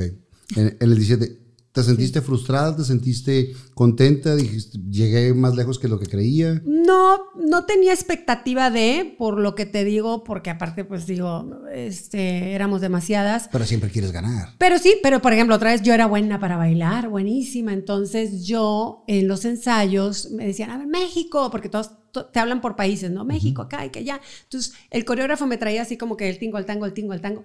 Y dos días antes de la semifinal, yo me caigo y me lastimo el tobillo y voy a dar al hospital, a- a- al, al, al- al departamento pediátrico, me acuerdo. Y ahí me hablan la- los de la organización de, de, de Miss Universo, me dicen, ¿qué vamos a hacer? O sea, ¿te vas a ¿Puedes o recuperar? no puedes? o mandamos traer al segundo lugar. A mí me pegó en el Pero, orgullo, pero espérame, ahorita me paro y me enderezo. Y este, entonces traía yo esa molestia o ese punto en contra porque ¿Cómo, cómo te caíste? tenía que dar yo un brinco del, del opening que teníamos que hacer y me caí sobre mi tobillo. Ok. Y, me, y me, me lo lesioné. ¿Nunca analizaste si era un boicot personal o un sabotaje? Pudiera ser, porque entonces después yo tuve que salir por un lado porque, porque traía el dolor. puedes. Ujú. Este, todo sí, muchas cosas. Luego también le quiero pedir perdón a los de la Asociación de Charros porque me mandaron un traje de charros y yo me puse el traje al revés. Me puse, ya sabes lo Sí, que sí, está sí. así, al lado del mariachi, Lo lo, que está bonito. lo. Yo lo traía al, al centro. No, hombre, pobre gente, se han de haber dicho, ¿qué está haciendo esta mujer? Pero bueno, este, no, a mí mi frustración cuando te cierran la cortinita, cuando no pasaste a las 12, fue porque eh, mi mamá fue a verme. ¿De Chicago fue para allá? Mi mamá fue a verme y fue mi reencuentro porque yo no viví con mi mamá desde los nueve años. O sea, tenías nueve años de no verlo, diez. La vi dos, dos ocasiones eh, medio eh, a escondidas porque mi papá no lo permitía. Este, la vi precisamente en casa de mi vecina y tú no sabes qué tormentoso y qué horrible. Entonces, yo sí acuerdo, yo sí me acuerdo cuando no, no, no estaba mi mamá en la casa, que una vez dije, algún día voy a ser famosa y voy a ser famosa en su tierra. Y se va a sentir mi mamá muy orgullosa de mí. Así lo dije, así pasó. Entonces, cuando mi mamá se entera que yo estoy en el Miss Universo, va a verme. Y mi papá había ido y mi papá cuando supo que mi mamá fue, se regresó. Entonces, nomás en el público estaba um, mi mamá y un tío y mi hermano. Y este, entonces ahí sí me sentí frustrada porque me hubiera encantado hacer algo más meritorio, ¿no? En este momento que tú tienes hijos, tú sabes que para ella no importaba si era el 1 o el 17 o el último, Sí, claro. que finalmente el amor que te tenía era lo importante. Sí, y además fue muy emocionante porque al día siguiente firmaron una responsiva en Nueva York y me permitieron estar con mi mamá dos días más ahí en Nueva York. Y yo, no saben la emoción que sentía de, de convivir con ella, de estar con ella. No llores porque vas a hacer No, yo llorar. también lloro. ¿Sabes que es la primera vez? Es la primera vez que se me sale una lágrima en este programa. Ay, qué lindo. Es la primera vez. Dios santo. Siempre trato de no llorar. Es más, ni cuando estaba mi hermana platicando de mi mamá, de la muerte y demás, lloré. Y ahorita sí me dio emoción. Eh, me imagino ese momento que además de toda la presión que traías de- del Miss Universo del certamen, tener ahí a tu mamá, esa, esa emoción debe ser muy fuerte. Fue muy fuerte, fue muy fuerte porque yo tengo una historia con mi mamá, pues especial, porque obviamente, pues quien no quiere adora, idolatra a su madre, pero para mí fue muy frustrante el que ella se haya ido necesitándola yo tanto, pero al mismo tiempo yo decía, qué bueno que se fue, qué bueno que se fue porque, porque era necesario. Y, y cuando la reencontré y cuando la volví a recuperar, nunca hubo un reclamo, nunca hubo una cosa ofensiva hacia ella porque, porque no había forma de hacerlo. O sea, mi mamá fue una reina y siento que la vida me la quitó muy pronto, este, pero bueno, el tiempo que la tuve la disfruté, la gocé. Creo que de cierta forma me convertí como en la mamá de mi mamá, porque siempre era mi chiquita, o sea, siempre trataba y la procuraba y buscaba la forma de agradarla. Y este, y bueno, De- después de ese reencuentro, ¿siguieron ya más en contacto? Sí, ella siguió viviendo en Chicago, pero siempre con la promesa de que cuando se pudieran las circunstancias, porque ella se volvió a casar con, con Lenny, con nuestro padrastro, un señor muy lindo que también ya falleció, y dijeron, cuando podamos, nos vamos a ir a jubilar y vivir a este, en McAllen. Entonces, y no la cumplieron. Entonces ella jugó un rol más importante en la vida de mis hijos como abuela, este, muy querendona, muy linda, muy muy simpática. Y, este, y pues la pude gozar a mi mamá. Ya mi mamá fue a Miami, estuvo conmigo cuando estuve allá y todo eso. O sea, tuvimos muchas cosas. Eh, pasa el, el, certamen, regresas para acá con otro estatus totalmente. Ya, ya la gente te conocía, ya la gente esperaba ver qué iba a ser Judith Grace. ¿Qué pasa en ese tiempo? Pues bueno, desde que gané el Miss México, que yo recibí una llamada del gobernador, que en ese entonces era Martínez Domínguez, este, y toda la conmoción que se logró en la ciudad y todo eso. Entonces yo regreso del Miss Universo, obviamente ahí sí, como dices tú, tan a sentar este, cabeza y, pies y decir, ¿onto y qué soy? Y saber qué iba a hacer. Este, primero que nada, me quise ir a aprovechar los premios que obtuve como Miss México, que dentro de ellos era una beca que me otorgó el Estado de Nuevo León una beca para irme a Suiza. Es que en ese entonces el, eh, el Estado era parte de la organización, o sea, era un concurso estatal de turismo, ¿no? Sí, sí. Entonces, este... Y ¿La tenía, beca para dónde? Me fui a, me fui a Suiza este, seis meses y me fui otros seis meses viajando alrededor del mundo porque me gané una vuelta alrededor del mundo. ¡Qué padre! Sí. Entonces, este, cuando se acaba todo eso, yo regreso a Monterrey. Pero decía la carta, aquí está la beca, pero como eres San Nicolás, te vas a ir todo el mundo en camión. como ibas a San Nicolás, te vas a ir en camión a todo el mundo. no, hombre, si te contara. Fíjate que, para que veas, este, estando yo eh, en Suiza y todo eso, viene la devaluación del 82. Sí. Y yo, muy cautelosa, junto con, con, mi chaperona de aquel entonces, mi compañera que era Rosy Loyola, este, nos vamos a, Europa, nos llevamos nada más la mitad del dinero que teníamos guardado para llevarnos, para irnos. Entonces, anda tú, que se viene la devaluación y dices, ¿tú qué hacemos? Entonces, este, a pedir ayuda. Eh, pues le hablamos a mi papá, la verdad no, no hubo respuesta. Y el que me sacó del problema que estábamos metidos fue el teniente coronel Rosales Freire una bendición, un señor ononón y este nos ayudó. ¿Qué, puesto tenía? Él era el brazo derecho de don Alfonso. El, en, el era, Sí, sí, era como pues el segundo de mando, de, mando. Entonces, este, cuando regresamos, vamos al palacio, a, obviamente a darle las gracias, a ponerme a la disposición del gobernador en el sentido de que, pues ahora sí, ¿para dónde voy, verdad? Porque sabía que él, él me había prometido regresando a ver qué, qué podíamos hacer y me da trabajo en el canal 28. Ok. Y ahí me empiezo. ¿Haciendo, haciendo qué? De todo. Pues ahí sí de correr. Ahí estaba, estaba Brunel, entonces, Alberto Brunel Meneses. Sí, entonces, este, bueno. Saludos eh, para, para, Brenda y para toda la, la, familia, Jacqueline y Betito. Ay, sí, adorados. Un saludo para ellos. ¿Qué, padre chamba hizo Brunel en el, en el, 28, ¿no? Tenía un ambiente muy padre porque estaba bien loco. Digo, de eso es innegable, pero, pero era muy divertido y además, este, bueno, pues hice mis pininos. Ahora sí que literal, al que le faltaba eh, si faltaba alguien, si había que llevar un papel, si había que recogerlo. Pero igual. Meterme a cabina. ¿Delante de cámaras y detrás de cámaras? Sí, sí, sí. O sea, estábamos nosotros, estaba, fíjate, estaba ahí mi cuñada que ya falleció. Bueno, yo tengo el tendedero lleno. Este, la negra. el día que vino Chilinflas. Eh. Estábamos platicando pues toda la historia desde el forum y no sé qué y paz descanse, y no sé qué y paz descanse. Y me dice una persona del público, oye, por muertito. Pero pues sí, con todo respeto. Pero pasa esto, estabas muy chavita. Estaba Cuando muy chavita. tienes historia desde muy chavito, pues ya se nos fueron muchas personas. Y aparte, bueno, honestamente, Fer, digo, de la que te estoy hablando, que pasó a ser mi cuñada, pues era una chava bien jovencita, igual que yo, o sea, nomás que pues... Eh, se nos adelantó temprano. Se nos adelantó muy temprano, la negra, este, Laura Rosales. Y Bárbara Leal. Estábamos las tres metidas en una oficina. Bárbara eh, estuvo organizada, porque es muy buena para organizar fue la que organizó el desfile cuando don Diego de Montemayor estaba conquistando. ¡Ay, qué bárbaro! te va a matar, siempre le digo, desgraciado, te va a matar. Le digo, sabe que la adoro también. y Bárbara este, estaba ahí. Y Bárbara estaba ahí. Y yo me estresaba mucho con Barbarita, porque ya te la imaginarás. Digo, yo tenía, ¿qué? 19 años después de lo de Miss México. Y entonces, este, Barbarita llegaba con unas minifaldas, ya sabes, este, espectaculares. Y aparte siempre llegaba tocando este, tarde, vaya. Y Brunel para esas cosas sí era. Entonces nosotros, Bárbara, por favor, Bárbara, por favor, y ten cuidado, Bárbara, te van a venir corriendo, Bárbara, Bárbara. Bueno, pues las que salimos de ahí fuimos las otras. y Bárbara, se, quedó. este, y bueno, ¿qué pasó ahí? Y yo me acuerdo, fíjate, trabajando en el 28, que yo decía, ay, si algún día yo fuera directora de este canal, yo haría y yo haría. y la vida me lo dio después. Ten cuidado con lo que piensas porque se cumple. Sí, pero Para bien y para mal. yo me acuerdo estando en cabina de radio, porque en ese entonces Brunel tenía tele y radio.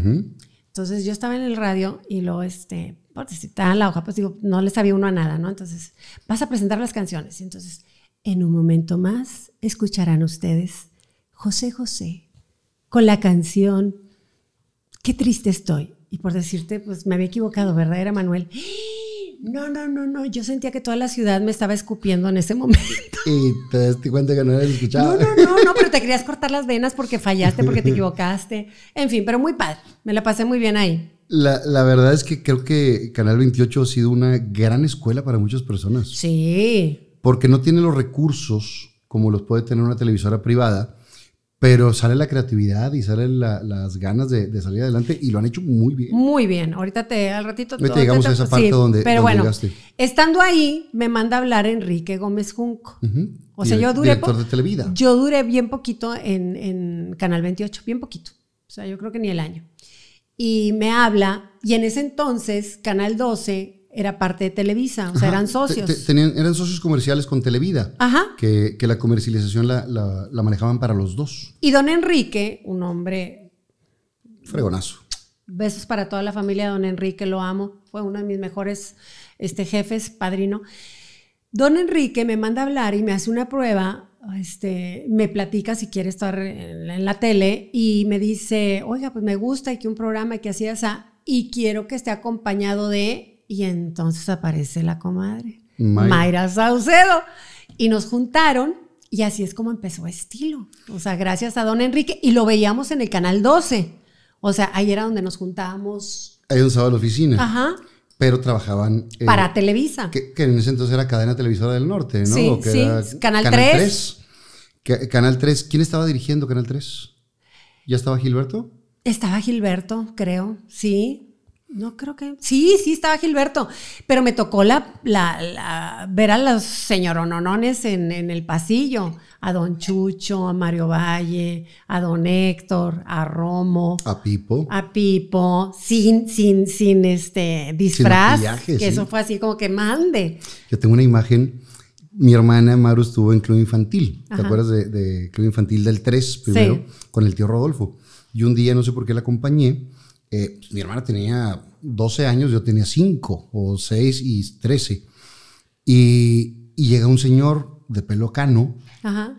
y me dice, hola amiguito. Y con la voz me quedo impactado porque sabía que era la voz de Pipo, porque yo era fan de Pipo, yo veía las, las aventuritas y verlo sin maquillaje fue un impacto en ese momento. Debe y años ser. después trabajé con él. Claro, me acuerdo que tú estabas de principito. sí, de- ¡Qué lindo! todas las obras y él, y él me, me dirigió también en teatro. Eh, ¿Cómo forman esta, esta revista de, de estilo? Padrísimo, la verdad, padrísimo. Este, pues, ¿tú te acuerdas que antes de nosotras estaba Lupita Martínez? Sí. Pues así, o sea, digo, la verdad tuvimos muy buena ayuda. Estaba con nosotros Lázaro Salazar, Noyola. Noyola. Divino. Que le mandamos también saludos a su hija. Rose. Mario Abel Díaz, con él empecé. Este, y así de, pues, a darle eh, forma al programa. Éramos bien chambeadoras. No tenías idea de la televisión, más que lo que habías visto en, en, en Lo que había 28. hecho. Y lo que había hecho yo como, bueno, Como ya. representante de belleza Sí, que exacto, que, que ya sabía que el micrófono no mordía, ¿verdad? Pero, pero experiencia así de, de- de formar el programa y de todas las responsabilidades que conlleva, ¿no? Estamos hablando de qué año, ¿8 qué? 8-3. 8-3. O sea, tenías un año de haber terminado este. Sí, 8-3 a finales, empezamos en septiembre del 8-3 y yo me casé en diciembre del 8-3. Vámonos entonces para atrás. ¿Dónde conoces a, a tu. Al Negrón. Lo conocí eh, siendo yo Miss México, eh, estaba yo en el aeropuerto y mi compañera de viaje lo conocía y entonces este, él era piloto. Entonces Piloto, íbamos para, para México y yo estaba muy cansada así todo. Entonces siempre yo peleaba porque me dejara esta condenada a la ventanilla y en esa ocasión, este, pues me la dejó muy fácil porque ella quería estar en el pasillo para estar cerquita de, Mira qué lista. Del Negrón, de Arnulfo. Y este, y bueno, entonces llegamos a México y ella me dijo, oye, pues vamos a ir a cenar con Arnulfo y con su primo, no sé qué. Y yo me puse los calzones, dije, no quiero. porque yo estaba también harta de que siendo Miss México todo el mundo me ordenaba y todo el mundo me daba agenda y tenía que hacer 100 cosas que la gente quería. Entonces me caía gordo que no me pedían ni siquiera opinión en algo tan íntimo. ¿no? Entonces yo dije, no, no quiero, no quiero. Entonces me la, me la perdí. Entonces, este, después no te creas, me quedé yo en el, en el cuarto acomodando el closet. Dije, donde estuviera bien, ¿verdad? Interesante y donde estuviera bien guapo. ¿Y cómo estará el primo? Fíjate, yo pensando en el primo. Porque a él ni lo vi. Entonces, este, dije, me porté muy mal, muy grosera, sí. Al día siguiente dice que, cumplía años el primo. Entonces ahí vamos a su casa y yo me arreglé, ya sabes, pero a todo lo que da. Espectacular. A todo lo que da. Y entonces llegamos y no había invitadas, nomás éramos ella y yo. Era una fiesta muy, íntima, muy, íntima.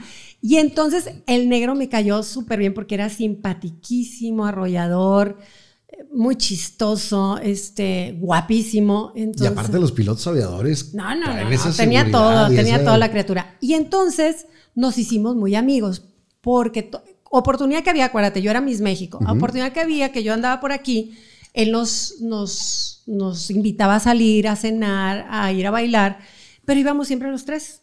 ¿Qué lugares estaban de moda en ese entonces? ¿A dónde iban a bailar? Alajá, Alajá, este pues nada más, porque digo, básicamente yo casi no estaba, ese tiempo casi no estuve. Luego me fui a Suiza, me fui a ese año perdida y no tuve contacto con él. Cuando yo regreso, que te digo que trabajé en el 28, está Laura Rosales, la hermana, y me dice, no, ¿sabes qué? Que el negro. Le digo, ¿tú eres hermana del negro? Me dijo, sí que él se decía solo el campeón. ¿Tú eres hermana del campeón? Sí. no puede ser. Entonces le dijo, entonces fui a cenar a su casa y pues el negro de ahí, oye, vamos a cenar y no. Entonces ahí fue donde él se abrió de capa conmigo que me dijo, oye, tú siempre me has gustado, yo quiero salir contigo. Y dije, ay, yo pensé que andabas detrás de... De la amiga. De Micaela. Entonces me dijo, no, es contigo. Y anduvimos, duramos nueve meses de novios. Y, mm, luego, te casaste luego, luego, después de arrancar estilo. A los tres meses de ser novios me, propuso matrimonio y pues yo feliz, porque la verdad es que fue este, muy particular su, su, Fue muy especial para mí ese tiempo porque, como te digo, mi papá era... Ay, sentías una protección, sentías... El negro era... Haz de cuenta que era todo lo que, todo lo que yo necesitaba y todo lo contrario. Sí, los cubría. Sí. Por darte un, un, un chisme así ligero. Este, yo traía un Mustang que me compré yo solita. Ahora sí ya yo tronaba mis, ¿verdad? Ya estaba yo, te digo, en la tele y todo, pero yo, yo, me, yo me compré un carro. Y ni sabía manejar, ¿eh? Porque eso sí lo estoy yendo Bárbara Leal, olvídate. Yo me, yo me subí al carro. sin saber manejar. Sin saber manejar. Me fui a por constitución. Me aprendí a la placa de adelante y dije, yo, ¿cómo le voy a hacer? ¿Cómo le voy a hacer? ¿Cómo le voy a hacer? Llegaba yo al canal 28, porque ahí fue donde me lo compré, y decía al señor que, que, te dice, pásale, pásale, pásale, me lo estaciona. O sea, no tenía yo la menor idea. Pero bueno, el negro. ¿Dónde estabas viviendo en ese entonces? En casa de mi papá. Yo estaba agarrada como garrapata. O sea, yo te voy a decir en qué momento me salí de esa casa. Este, el negro me dice, oye, préstame tu carro, lo necesito, no seas mala, no sé qué, no sé qué. Y yo, ah, sí, gracias, sí, claro, claro, lo que ocupes. Y se lo doy. Y mi papá furioso, porque, o sea, ¿cómo es posible? Y este millonario quitándote el carro, ya sabes. Y a la noche me lo regresa el negro y me le había puesto clima porque yo, mucho carro, pero sin clima. Imagínate en esta ciudad, ¿verdad? Y así él era así de detallazos, de darte lo que tuviera. Pues sí. Entregado. Entregado. Como tú. Pues sí, sí. Cada quien a las posibilidades que tenía, pero siempre compartir. Sí, la verdad que sí. Empieza estilo y empieza con mucho éxito. Sí, nos fue, desde el principio nos fue muy bien, la verdad. ¿Qué, cuál, era la mancuerna o cuál era la magia que tenía ese programa? Pues fíjate que yo creo que fue una unión muy bonita con Mayra, nos entendimos perfectamente. Yo la agarré un poco como mentora porque ella ya traía un colmillo tote, ya traía escuela, me enseñó muchas cosas a cobrar, era muy disciplinada y, y, yo era en otras cosas lo doble. O sea, por ejemplo, yo era muy estricta en cuanto a horarios, yo era muy y muy creativa. Entonces, este, cada una puso sus virtudes aprendimos la regla de oro que, mira, tú y yo nos podremos decir lo que quieras, pero frente al mundo somos las, las mejores. amigas y no hay broncas. Y hasta el día de hoy. Es más, ayer comí con ella, o sea, es madrina de mi hija. Es súper, súper cercana a mí. Yo me acuerdo mucho del programa porque era un programa que pues lo veía todo Monterrey también, tenía un, súper rating que no sé cómo se medía en aquel entonces, pero te das cuenta en la calle. En la calle es donde siempre te has dado cuenta de, de si, si algo está funcionando o no. Ajá. Porque pues te podrán decir números, pero si en la calle no te dicen nada, dices algo Sí. está pasando. Sí. Y, y ahí me acuerdo mucho de la sección de Sergio Esquivel. Esa siempre la tengo Adorado. marcada, Que, que entraba Sergio, que Sergio también había hecho una gran carrera porque había ganado concursos. Y ganó en el de Fiebre del 2. Claro, fiebre, fiebre del sábado por la noche se llamaba, ¿no? Sí. Tito Girón. Sí, sí. Y, y estaba ahí. Lo conocía yo, o la familia, porque él fue entrenador de las porristas de Mexicas. Así es. Que, que también es de allá de, de por la y estuvo Roma. en mi secundaria, discúlpame. También. Y entonces ella, este Sergio entrenaba a mis hermanas. Ah. Y yo jugaba de chavito ahí en, en Mexicas. Ok. Y lo conocemos de, de toda la vida. Entra ahí ya con, con el nombre Sergio Esquivel y empieza a poner los pasitos con El nombres. paso de la semana Eh, y, hacía el opening del programa. Junior, así, y Barro, y Barro, y el Delfín, y todas esas cosas, que después por el tiempo, de ahí nace el pico cebolla. O sea, de, de una, Ajá, de ajá. una vez estábamos en una boda, estaba Lorena y varias personas, y haciendo una alusión a lo que había hecho Sergio, salió el pico cebolla. Fíjate. Imagínate desde estilo Sí, pasó sí, hasta el pico cebolla. Sí, sí, sí. No, estilo tuvo magia porque pasaron muchas personas por ahí. Mairona se me fue a México. Este, yo la empujé. La, llevan a, a, a Eco o a qué parte la llevan? Fíjate que yo estando en la noche en mi casa viendo el noticiero con el Negrón, vimos el- la, la convocatoria. Y yo en ese instante que estaba viendo la convocatoria dije, esto es para Mairona, esto es para Mairona. Al día siguiente grabamos en la casa del TEC y, este, y le digo, Mayra, está ahorita la convocatoria para estar con Memo Ochoa, que yo era big fan de Memo Ochoa. Y entonces le digo, por favor, y no sé qué. Y Mayra pues era soltera, más en su onda, más en, en eh, desfiles de modas y tenía agencia, súper trabajadora.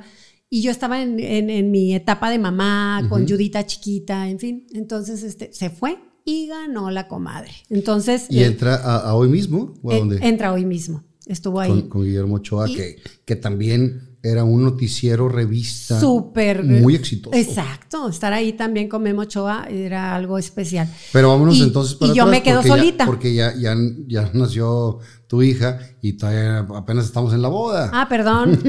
perdón, hombre, ¿Te caray. casas a los tres meses de esto? El- No, nueve.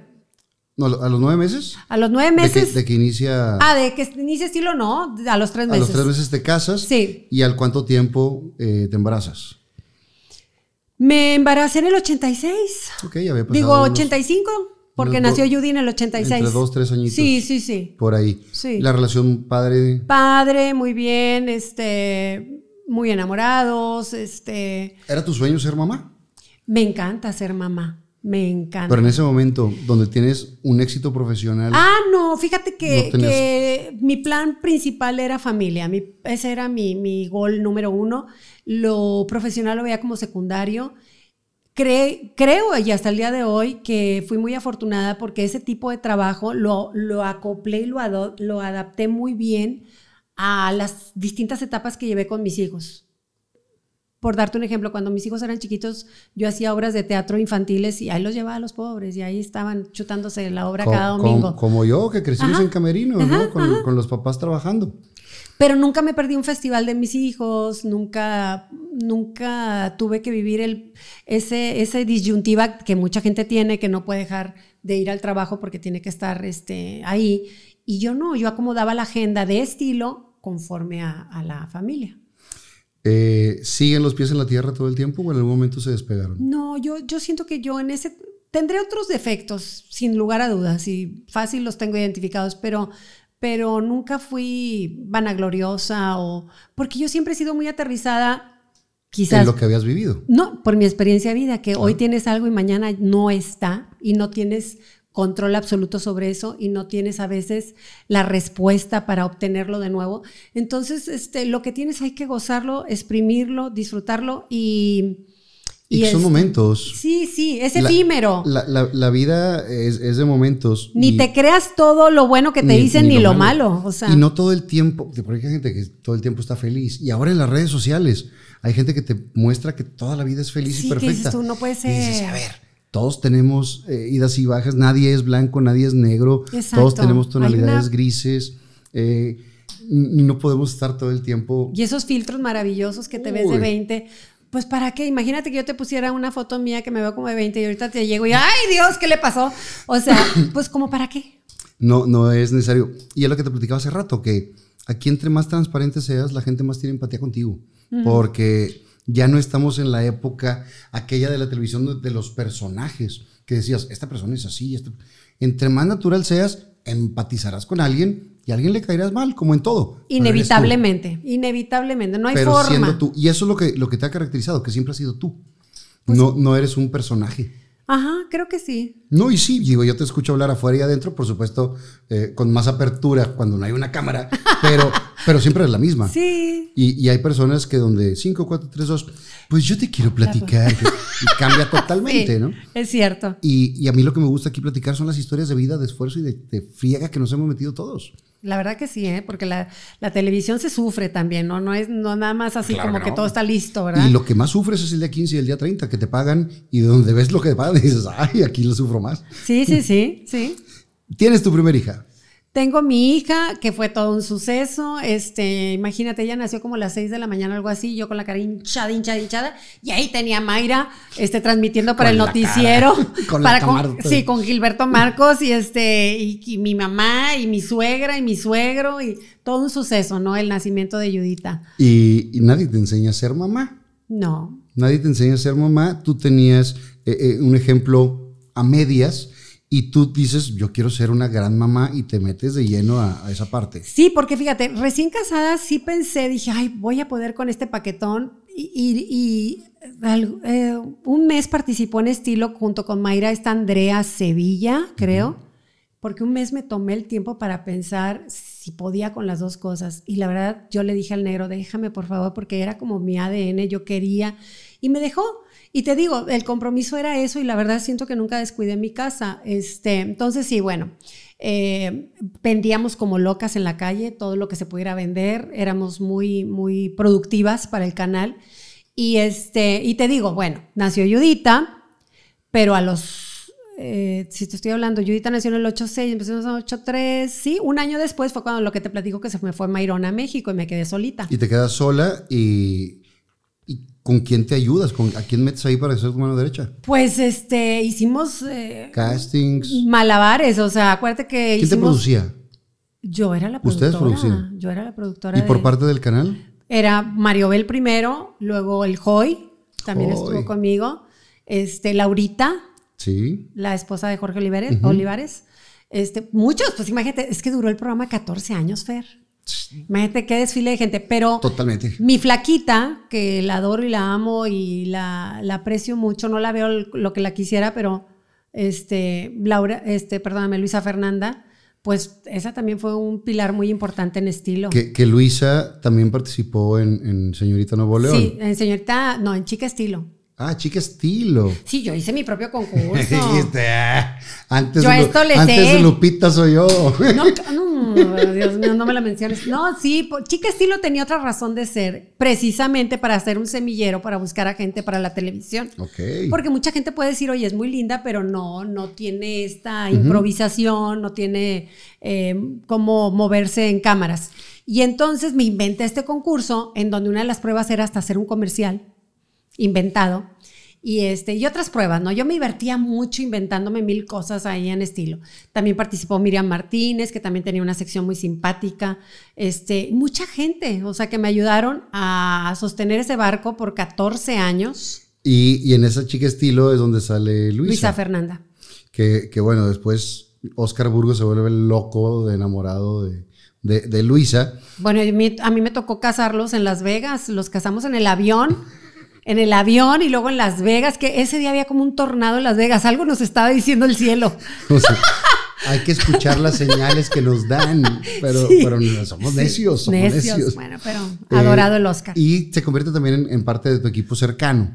Fíjate que toda la gente que trabajó conmigo, y espero que esa sea la sensación de todo el que esté viendo tu programa ahorita, toda la gente que ha participado conmigo, trabajado conmigo, siempre se les ha tomado en cuenta. Te estoy hablando desde el equipo de producción, las coordinadoras, Keta y Meli, to- toda la gente que participó, porque tú, te, tú, te, tú me entenderás, Fer, que cuando estamos a cuadro, ellos tienen otra perspectiva, los que están enfrente de ti, tienen otro dominio del tiempo, Sí. van, te van midiendo, te van. Entonces uno se tiene que dejar querer. Tú puedes ser líder terminando el programa y decir, a ver, la próxima semana quiero hacer esto, pero una vez que estás en pantalla, tienes que ceder el control a estas personas porque te están viendo y están midiendo Y lo ven desde otro punto la de vista. temperatura de, de- de cómo va la entrevista y todo. Entonces, este, creo que ese ha sido el éxito de mis equipos de trabajo porque me gusta mucho hacer equipo, hacerlos sentir importantes a las personas y pues a eso se debe el éxito de un proyecto. Y fue un trancazo que, que hasta la fecha la gente lo recuerda y, y es una de las revistas más exitosas de, de la televisión. Eh, hasta que llega el momento, bueno, después de eso, eh, tienes más hijos, tienes otro más. ¿En qué año fue? Arnulfo Roberto, que no le gusta que le diga Arnulfo, pero bueno, yo digo ese nombre ya, ah, porque así se llamaba mi marido, pero él es Roberto o Rufo, como le dicen, Roberto, Roberto Rosales, ¿Ese Eh, qué año fue? en el 88, Ok, o sea, tuviste pegaditos, 8, 6, 8, 8. Pegaditos. Y, y seguías con toda la friega de, de la chamba, con la, la parte de, de mamá que nunca eh, les faltó mamá. Siempre estuviste, fue una mamá presente, aunque trabajaba mucho. Así es, y, y- y me- por boca de ellos creo que así se expresan y eso para mí es el mayor logro porque por mi historia de vida y que tú ya sabes todo lo que ha sucedido conmigo, pues a veces también hay que hacer decisiones importantes o sacrificios importantes en donde a ojos de otras personas puede ser como que, ay, caray, ¿por qué? Pues porque toca, simplemente porque Cada quien toca. tiene su, su manera de, de ver la, la vida y cargar su maleta y sabe por qué lo hace. Porque después de siete años me divorcié. Este, y pues ahora sí que fui mamá y papá de mis hijos y todavía subrayado cuando en el 99 fallece el negro, porque aún divorciados nosotros teníamos una Buena muy relación buena relación. Buenísima, él, él era, sus hijos, eran todos sus hijos, ¿no? Y, y yo recuerdo que hasta una vez le reclamé al negro que le dije, oye, yo también quiero ser la mamá buena, porque tú te los llevas de fin de semana y les compraba todo lo que se les antojaba y la pizza y ya sabes. Claro, y otro". entonces entre semana que tú lo regañabas, tú eras la mala. eso no coma, oiga, bañarse, oiga, la tarea, oiga. Dije, yo también quiero, ¿verdad? Entonces me dijo, tienes toda la razón. Y entonces siempre había esa cordialidad. Y pues la vida nos sorprendió, se, tuvo una aneurisma y de un día para otro, bueno, no es de un día para otro. Este, esto le pasó a él en McAllen, me acuerdo que yo agarré la camioneta y trepé a los dos niños y me fui para allá. Y, este, y se lo trajeron en avioneta para acá, para Monterrey, y estuvo en el hospital, este, pues no sé, no tengo bien medido el tiempo, tres días quizás, y, y murió. Y es un trancazo para la familia, aunque no estuvieras en ese momento con él, por lo que habían divorciado, pero, pero es el papá de tus hijos. Sí, y aparte yo lo quise mucho. Y, mm, y el negro me dejó, bueno, lo mejor de mi vida, que son mis hijos. Es el regalo más hermoso porque en muchas cosas son una réplica de él, de lo que te digo de su carácter, de cómo habla, de hasta el ne- eh, eh, Arnulfo, cómo camina, cómo te acaricia. Hace cuenta que siento a su papá, o sea, tiene una manera de tallarte como cuando te, te duele la espalda, o sea, es- es- es- no sé, es curioso. Y, Y, que su aunque no haya tenido tanto No, tiempo, la sangre no, es la pobrecito, sangre. a él, imagínate, yo me divorcié cuando el niño tenía dos años, este, y cuando murió tenía nueve años mi hijo, y mi hija trece, o sea, les tocó duro, pobrecitos. Y, pero también me dejó su familia, o sea, su familia nunca me, me separó. Para mis sobrinos sigo siendo la tía, mis cuñadas, que hoy cumpleaños una de ellas, Mónica Rosales, un besote, me quieren mucho. Entonces, pues imagínate. Aunque, aunque tenían una buena relación, ya, ya divorciados, por los hijos, por la cordialidad y demás, en una separación siempre quedan como cositas guardadas. Al momento de que le pasa una tragedia como esta, que, que muere, ¿te quedas con culpas? Yo me quedé no con culpas, porque le hice mucho la lucha. Él sabe que sí, si nos está escuchando, él sabe que sí, pero me da sentimiento que como esto le había sucedido a su hermana, a la güera, a Diana Rosales, que también tuvo un problema igual, y chavita, bien jovencita, y la libró perfectamente, nomás le quedó una cicatriz en la cabeza, pero ella está súper saludable y súper inteligente, o sea, cero problema. Cuando a mí me dicen lo que le pasó, yo dije, va a pasar lo igual. Entonces, el recuerdo que yo tengo de la última plática que tuve con él es de que, pues tómate el jugo, porque él hablaba, ¿eh? Él tenía la hemorragia en la cabeza y él hablaba. Entonces yo entré al cuarto y estaba con los niños y me digo, pero tómate el jugo y esto y lo otro y plática intrascendente, tonta, estúpida. Y, y los niños y entonces ya. Y lo meten al quirófano y este... Y más malito, más malito, se fue poniendo peor y murió. Entonces, eso es lo que me da un poco de tristeza. O sea, me hubiera gustado decirle otras cosas. Y que tus hijos lo disfrutaran más. Claro. No, no hay edad, porque toda edad te va a doler cuando pierdas a, a tu padre o a tu madre, pero estaban muy chavitos. Claro, a mí me encantaría que, que los viera. Que tengo, bueno, la idea de que los ve, pero me hubiera, gustado, me hubiera gustado ahorita platicar con él y, y hacer, com hacer comentarios de nuestros hijos, ¿no? De, de, esta etapa adulta que están viviendo, que es, es un agasajo ver a los hijos grandes, es una bendición que no todo mundo tiene. Y porque uno lo sigue viendo huercos, uno Siempre. lo sigue viendo chiquitos. Es lo que te decía hace ratito cuando llegaste de, de tu hija y me dices, no, pues ya tiene treinta y tantos. Y yo, o sea, mi imagen es verla, la contigo, verla contigo chiquita. Sí, no, ya es una trabajando, señora. Trabajando tú por todos lados, siempre estaba contigo. Siempre está conmigo. Y, y ahora es toda una madre de familia, que ahorita llegamos a, a, eso. a, a esa parte. Eh, muere eh, el, el, negro, negro y, y, pues también hay un, un, desajuste en tu vida por el sentido de, pues en los fines de semana ya se van con, con su papá. Sí. Esto. A mí ya me dio, no miedo, pero sí, sí me dio así el que dije, ah, caray, se fue la persona que quería a mis hijos igual que yo, porque pues todo el mundo te podrá decir que los quiere y los adora, pero nadie como un padre, nadie como una madre, que nuestro amor es incondicional. Tu hijo puede ser lo que sea, lo que haga, siempre lo vas a apoyar y estar con él y, y a demostrárselo, ¿no? Esa es mi creencia. Y este, dije, ay, caray, ahora sí. Y entré en ese pánico momentáneo en donde dije, ¿y si me voy yo? ¿Qué va a ser de estos dos? Y este, y ni modo, a darle y a trabajar más duro y a proveer lo necesario para que a ellos no les faltara para su escuela superior o para todo lo que me seguía, porque estaban chiquitos. Sí, y les faltaba mucho todavía mucho. Para, para, ser independientes. Y, y, era tu responsabilidad. Ahora sí, sola, ya no compartida. Eh, sales adelante como siempre lo has hecho, porque cuando tienes el temple y los pantalones como los tienes, sales adelante ante todas las cosas. Eh, termina estilo, ¿por qué? Porque a mí eh, me busca una persona, este, vaya, voy a volver a decir que ya falleció. Descanse en paz. Uno más. Uno más, el que le decían el fantasma. ¿Lo conociste? No me acuerdo. Pues un hombre, este, eh, se me fue ahorita, González, creo que se llama, este, Manuel González, Manuel okay. González, este, homónimo del que acaba de estar en el gobierno. Y me hace la invitación que me estaban esperando en el hotel, este, Crown Plaza de ahí de, de, de, de Constitución. de Constitución, para platicar con el doctor Todd y con Alberto Anaya. Y entonces yo voy, platico con ellos. Yo siempre he sido muy abierta. A escuchar. A escuchar, porque si yo trabajaba, Fer, tú sabes que en todo tipo de llamadas o de contactos puede haber una oportunidad de negocio, puede haber una oportunidad. Yo no tengo problema alguno. O sea, a mí me dices y voy. Pero este, y más en aquellos años. Uh -huh. Este, entonces fui, platiqué, pero yo, plática intrascendente, cultura general, o sea, hablando de, de, la importancia de lo que estaba ocurriendo en ese momento. Pero hice muy buen clic con el, con el doctor, con Todd. Este, le mando un besote a Elvira. Este, y a él también. Pero entonces me hace la invitación. Y a Lucía, ya de pasar. Ya, pues a todos, ¿verdad? Toda la familia. A Lucía, ah, Lucía, a la Lucía conocí. Y a Paco. Bueno, Lu y ahí nos damos todos. Oye, Lucía estaba en mi comité de campaña, No. ¿lo puedes creer, la huerqueta? Sí, muy Vámonos a brindar.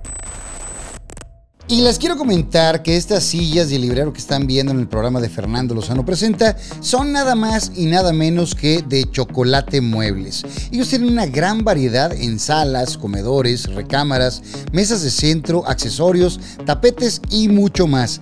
A mí me encantan todos sus productos, ya que son la combinación perfecta entre calidad, buen diseño y precio justo. Así que no esperes más y tómale foto a la pantalla para seguirnos en nuestras redes sociales y puedas conocer los muebles de tus sueños en Chocolate Muebles.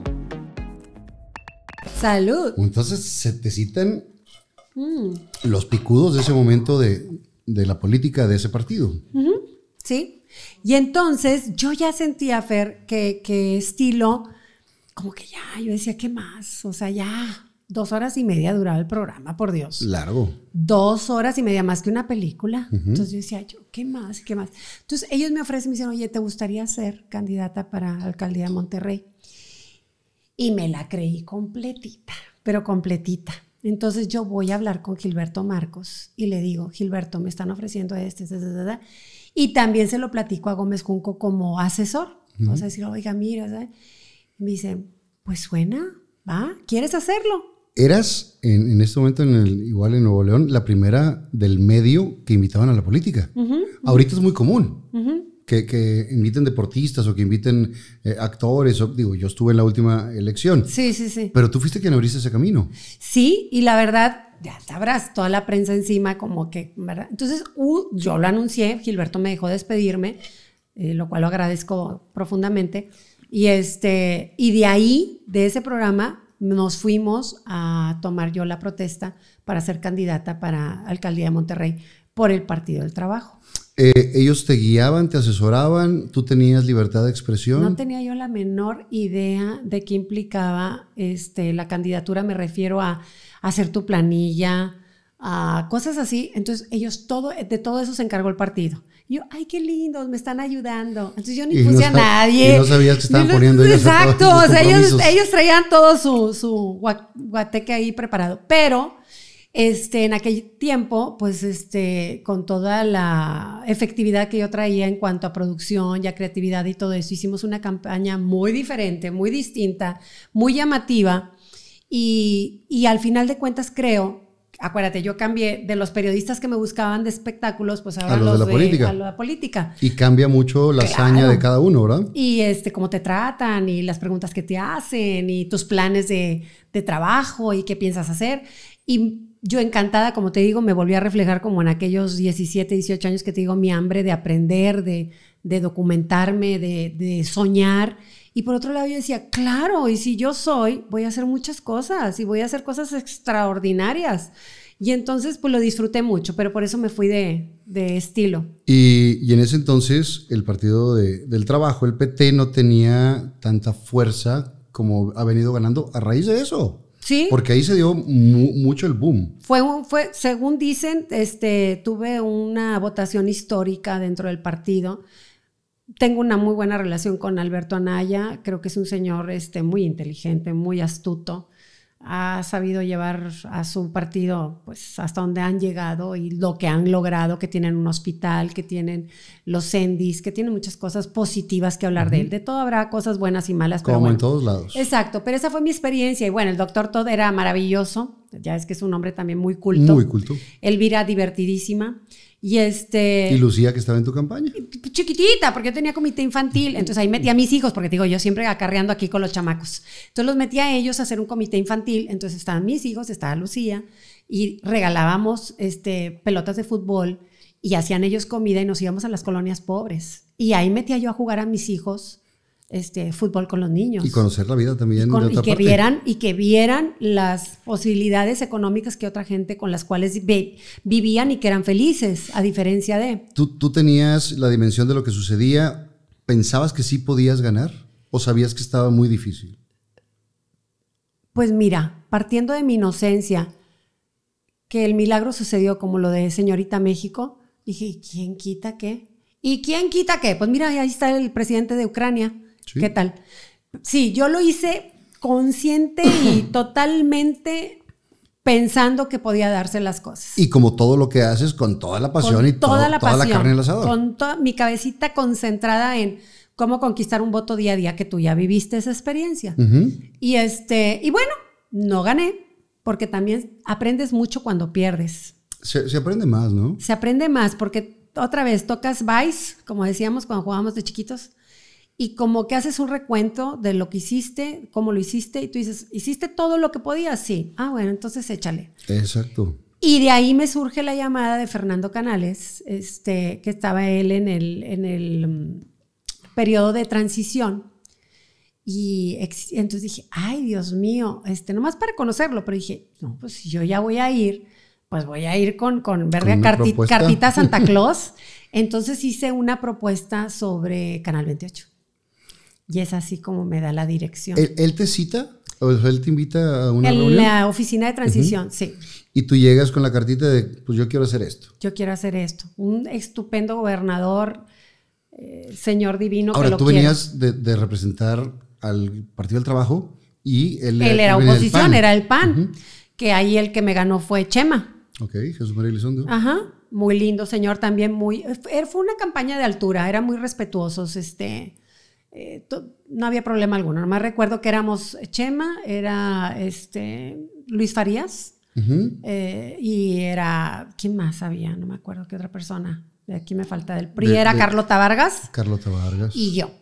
Y entonces teníamos los debates, que tú no sabes lo que es eso. Digo, sí, señorita México, señorita Nuevo León, todo lo que me Eh, digas. Estos eran de verdad. Estos eran, chútatela, porque aparte ibas a universidades y luego campanita, no te podías pasar, tenías que decir algo congruente, la pregunta venía de alguien muy, muy este, elaborado, muy pensante.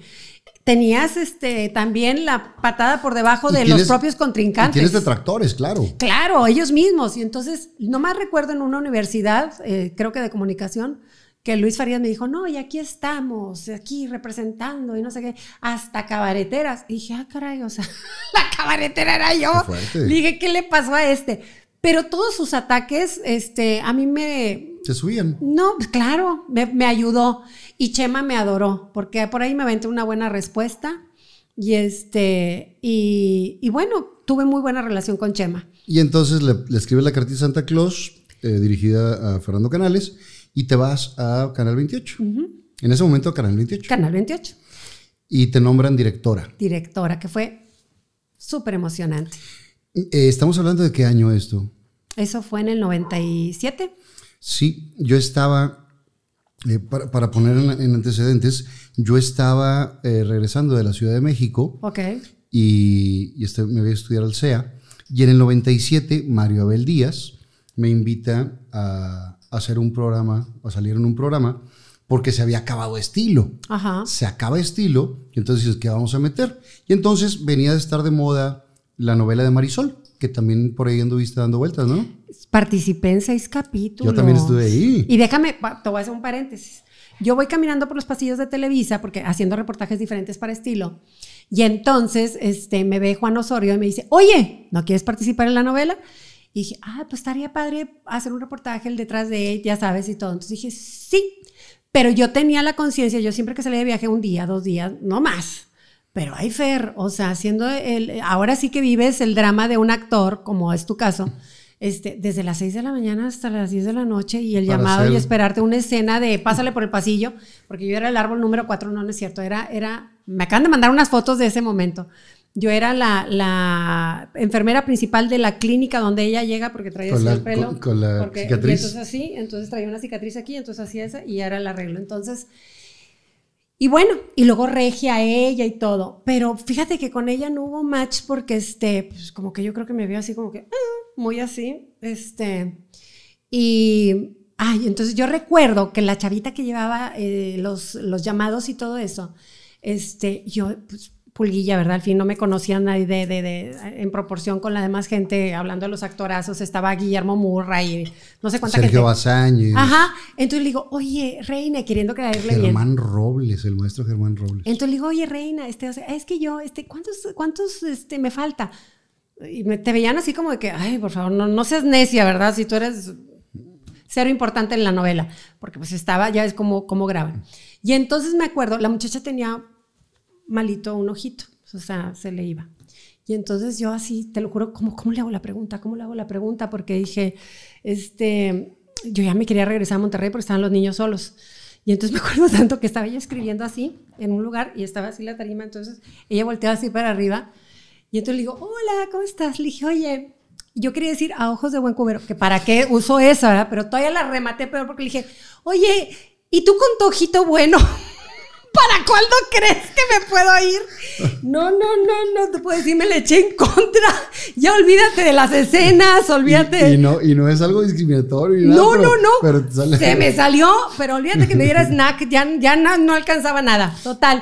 Le platico una vez a un amigo aquí que cuando mi papá se murió, como la gente se pone nerviosa de repente y no sabes qué decir.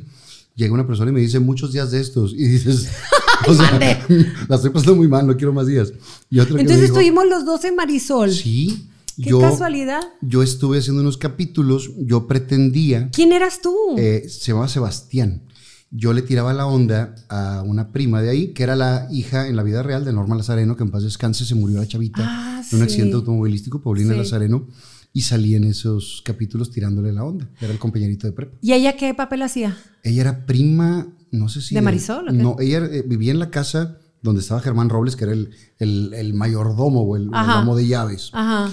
Y era, creo que primo de Santa María o sea, primo de, de Ah, de No, pues como yo, a mí me tenían atorada en la clínica de, yo, yo vi mis de cirugía plástica. yo vi mis capitulitos, no, no vi toda la novela. No, pues muy Y Te interesante. platico otra. Eh. Mi, cuando hice la, en la laguna de Gat- Gat Salvaje, mi mamá era muy inteligente, tú te acuerdas de ella. Claro. y siempre muy pegada a la cultura, literatura y demás.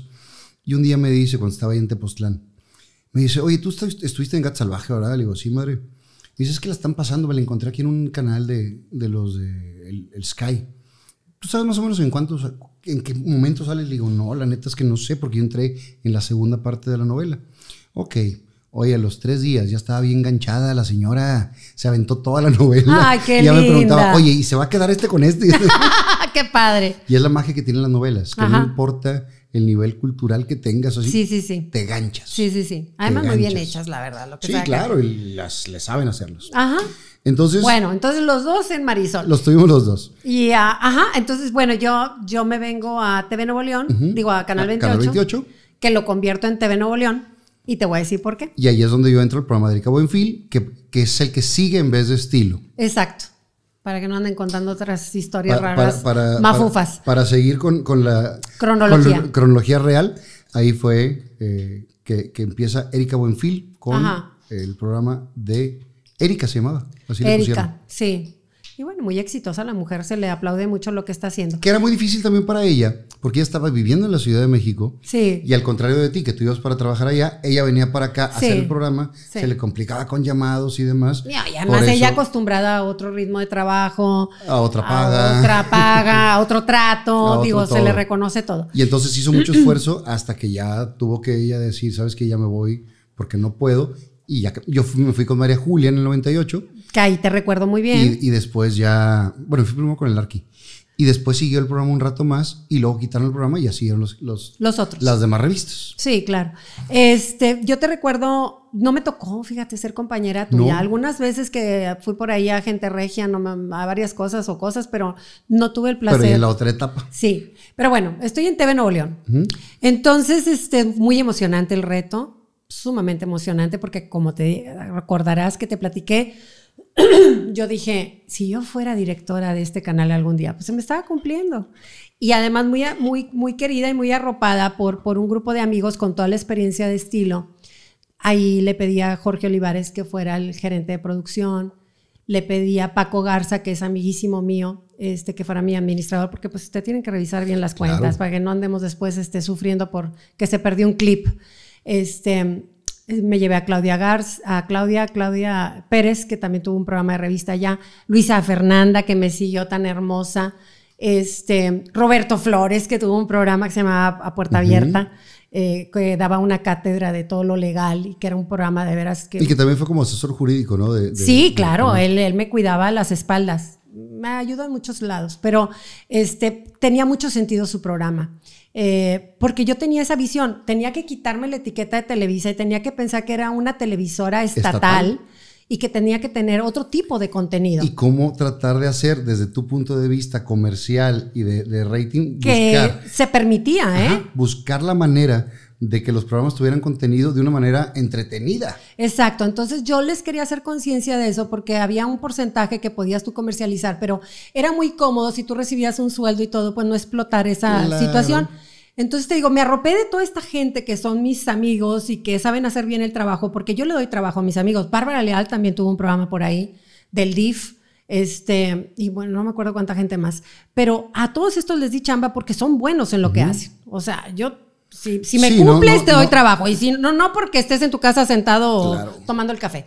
Y aparte conocí, que eso fue el balance perfecto, a la gente tan valiosa de, de Canal 28, en este caso Abrego, de Noticias, que ese está en el ADN del canal, Verónica de la Rosa, eh, te podría decir, de, de- de deportes, que era este señor. Don Ángel Robles. Ajá, exacto. Y Alejandro, que ahora está en multimedios. Eh, Facio, me acuerdo de producción.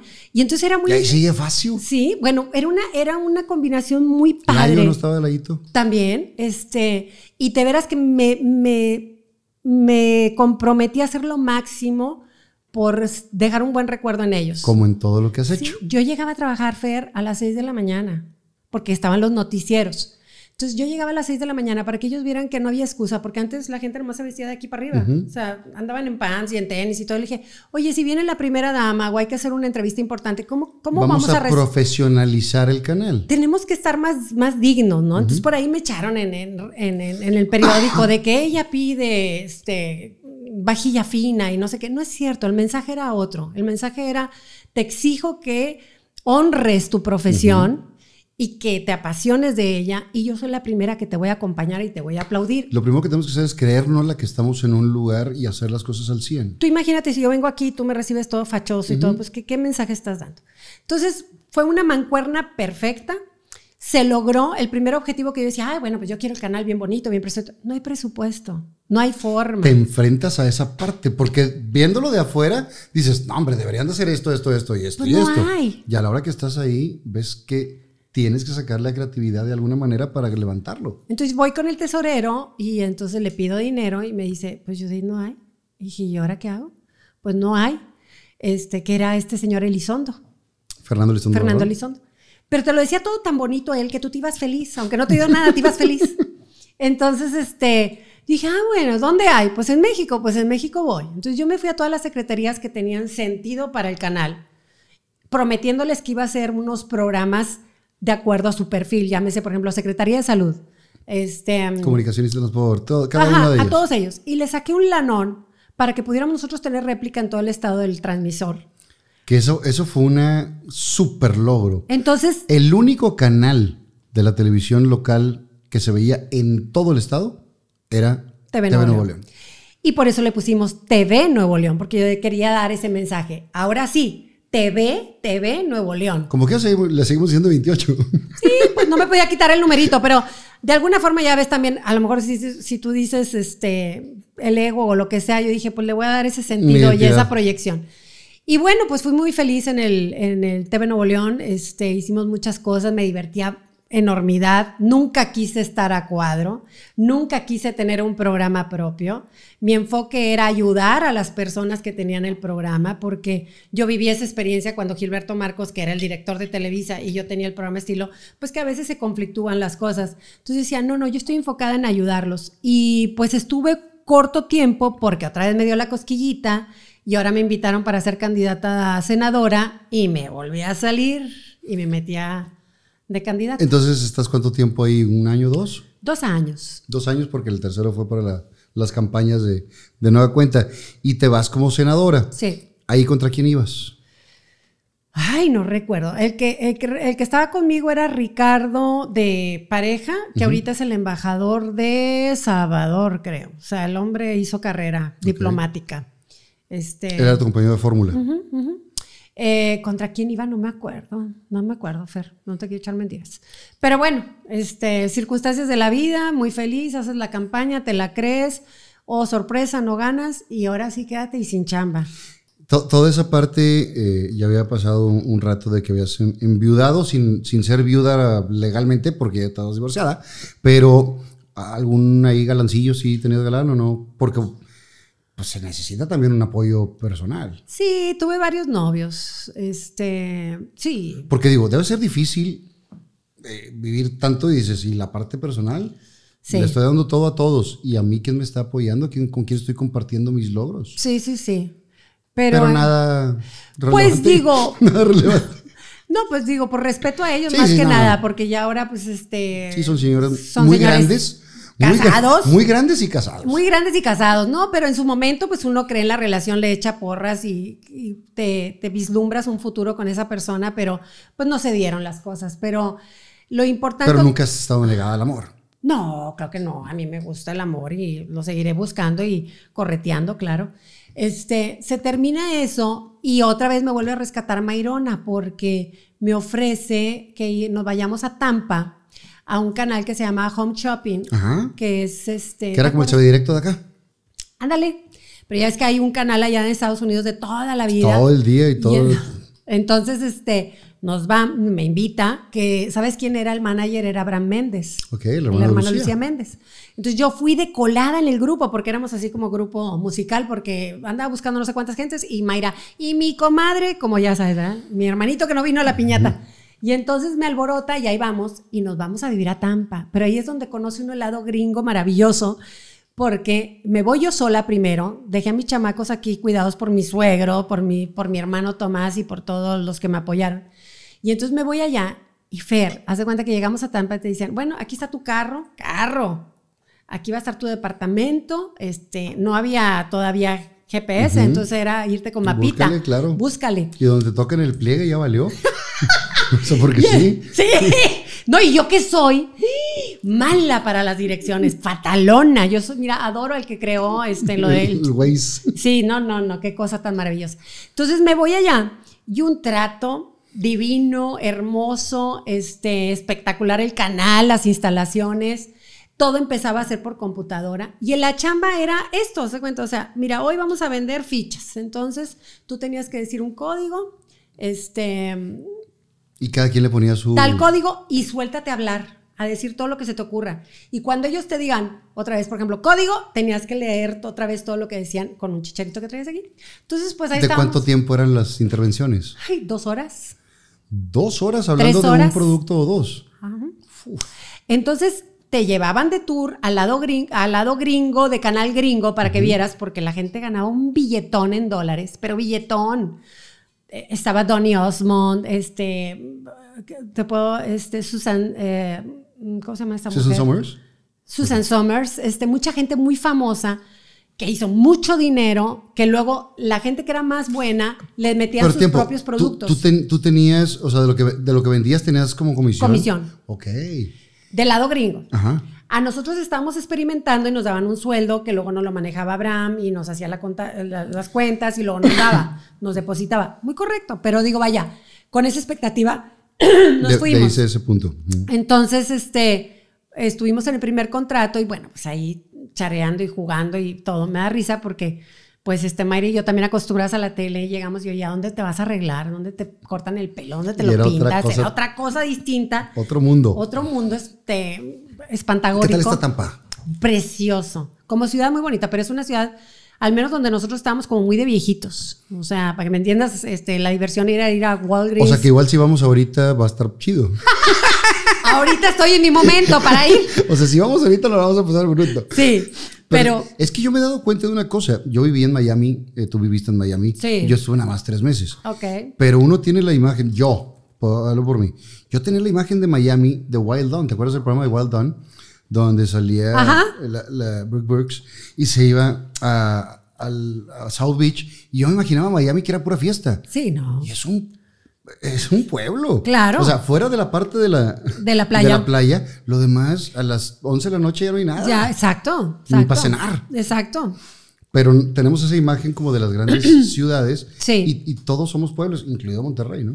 Y aparte, mira, nosotros en el grupo éramos como que las tranquilitas, Mayra y yo, porque en el grupo iba esta Luisa Fernanda de, Garibio- de, de Garibaldi. Garibaldi, Pita, Pita Ojeda. Ojeda, y esas eran tremendas, o sea, esas andaban. Esas andaban en la fiesta. Esas sí andaban en la fiesta. Entonces nosotros éramos las tranquilitas, bien responsables, bien, bien buenas ondas. Entonces te digo, todo por la computadora. Y era como que muy, muy solitario todo lo que hacíamos, porque encerradas, computadora, vete a tu casa, te digo, distráete en el Walmart. Se acaba el contrato y yo le digo a Mayra, ay, esto no es lo mío, chula. O sea, esto está repitiendo 20 horas que tu abuelita y el tapete y el candil y yo como me acuerdo cuando mm, mi abuelita me contaba, es, es abrumador, o sea, no, no me gusta. Sí, a lo mejor económicamente puede ser, pero no me llena. No, me, no, no, no, fui, y, y luego los niños, aunque yo pedí un departamento de tres recámaras y me lo dieron, este, no me, no me imaginaba yo ahí. Entonces le dije, vámonos, ella me alborotó, creo, vamos a Miami. Ok, fuimos a Miami, tocamos todas las puertas, de nosotros somos, de, nadie nos peló, nadie. Entonces, regrésate a Monterrey. Otra vez me instalo yo en Monterrey. Que bueno, los niños iban a visitarme a Tampa y todo. No te imagines la película que ellos se quedaron aquí y yo allá. No, no, ellos iban allá y bueno, tengo Y cuando podías venías, o sea, siempre... Sí. Pero este, me regreso a Monterrey y Santos, Rafael Santos, adorado, me rescata y me dice, oye, pues regrésate a Televisa, o sea, hay chamba, métete y no sé qué. Bueno, pues vamos a tratar. Y me meto de nuevo a Televisa, que es cuando hago un programa cada domingo, que era los- el, el domingo, y hago mucha producción de programas yo como productora nada más, por su salud, mundo social, que ahí trabajé con Pablo Morton y con varias personas. Con Luisa en Por Su Salud. Con Luisa, por supuesto. Yo jalaba la flaca para todos lados. Entonces, este, eh, bueno, pues... Que, eh, que ese es muy buen concepto, el de Salud. Es, es muy buen concepto. Claro. Porque en la parte medicinal hay muchas opciones y mucha información, porque daban mucha información, pero aparte le vendes al doctor para que pague publicidad. Y porque sabes que, Fer, mientras tú no vas- pases por un proceso, a veces no pones atención. Tú cuando estás embarazada ves pañales por todos lados. Tú cuando oyes, eh, por ejemplo, que viví la experiencia de mi mamá con cáncer, ya te aparecen todos los lados y todos los tips y todos los consejos. Entonces, eh, eh, todos los días alguien amanece con una necesidad médica y es muy padre que tú a una persona la puedas alertar Y la puedes guiar. guiar, hacia decir, bueno, punto. lo que tú hiciste, que la gente no esté enterada, pero hace un mes que hablamos tú y yo que me dijiste, ve con este doctor porque yo traía de molestias. Ajá, y que tu método, el método mío del ozono, este, pues buenísimo los dos. Si me permite, le meto el gol a Gerardo Dabdú. Muchas gracias, Gerardo, por Y todo lo que me ayudas. al doctor Marcelo y Garza a de- Marcelo del Atlas Garza. Profilax. De veras, es que hay que, hay que explorar y hay que atreverse a los avances médicos también. Y, y compartir lo que te ha funcionado. Claro, claro, y te lo agradezco mucho. Porque, digo, tampoco es vender por vender una cosa, sino algo que realmente funciona. A mí el ozono es, es mágico lo Yo que hice hace ozono conmigo. con el doctor Alcalá hace muchos años.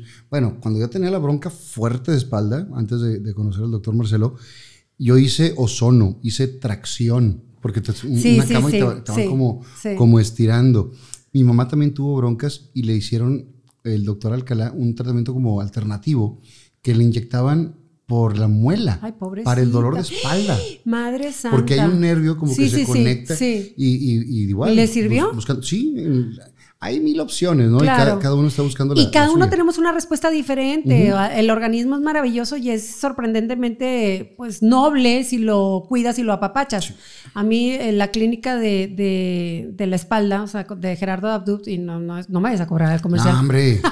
No, Pero- y, qué, y qué padre que la gente pueda conocer, porque también una de las broncas más fuertes que tenemos en el país es rodillas, espalda y todo esto. Sabes que a mí me da una, opción- tristeza entrar ahí porque ves, y yo creo que tú lo viste, ves la cara, cómo cambia el rictus de las personas cuando traen el dolor, que hacen el esfuerzo para ser útiles, productivas, no que no, que no te impida ser tú y, no se Y puede, sabes que tenemos, que tenemos una muy mala costumbre en este país de que nos acostumbramos a vivir con dolor y creemos que esa es la vida, pero te hacen más irritable, no estás tan, tan enfocado en las cosas porque todo el tiempo vives en dolor. Sí. Y está muy cañón. Sí, sí. No- no y a veces no la solución está a la vuelta de la esquina. Si le crees tantito a la oportunidad. Yo sí siempre siento que, yo le digo, Diosito, Diosito, mándame lo indicado, mándame lo indicado. Y te lo juro que me llega. Pero bueno, ¿en qué nos quedamos? Nos quedamos en que te regresas de acá, Y estoy en Televisa. Cañamar, eh, abrimos esto.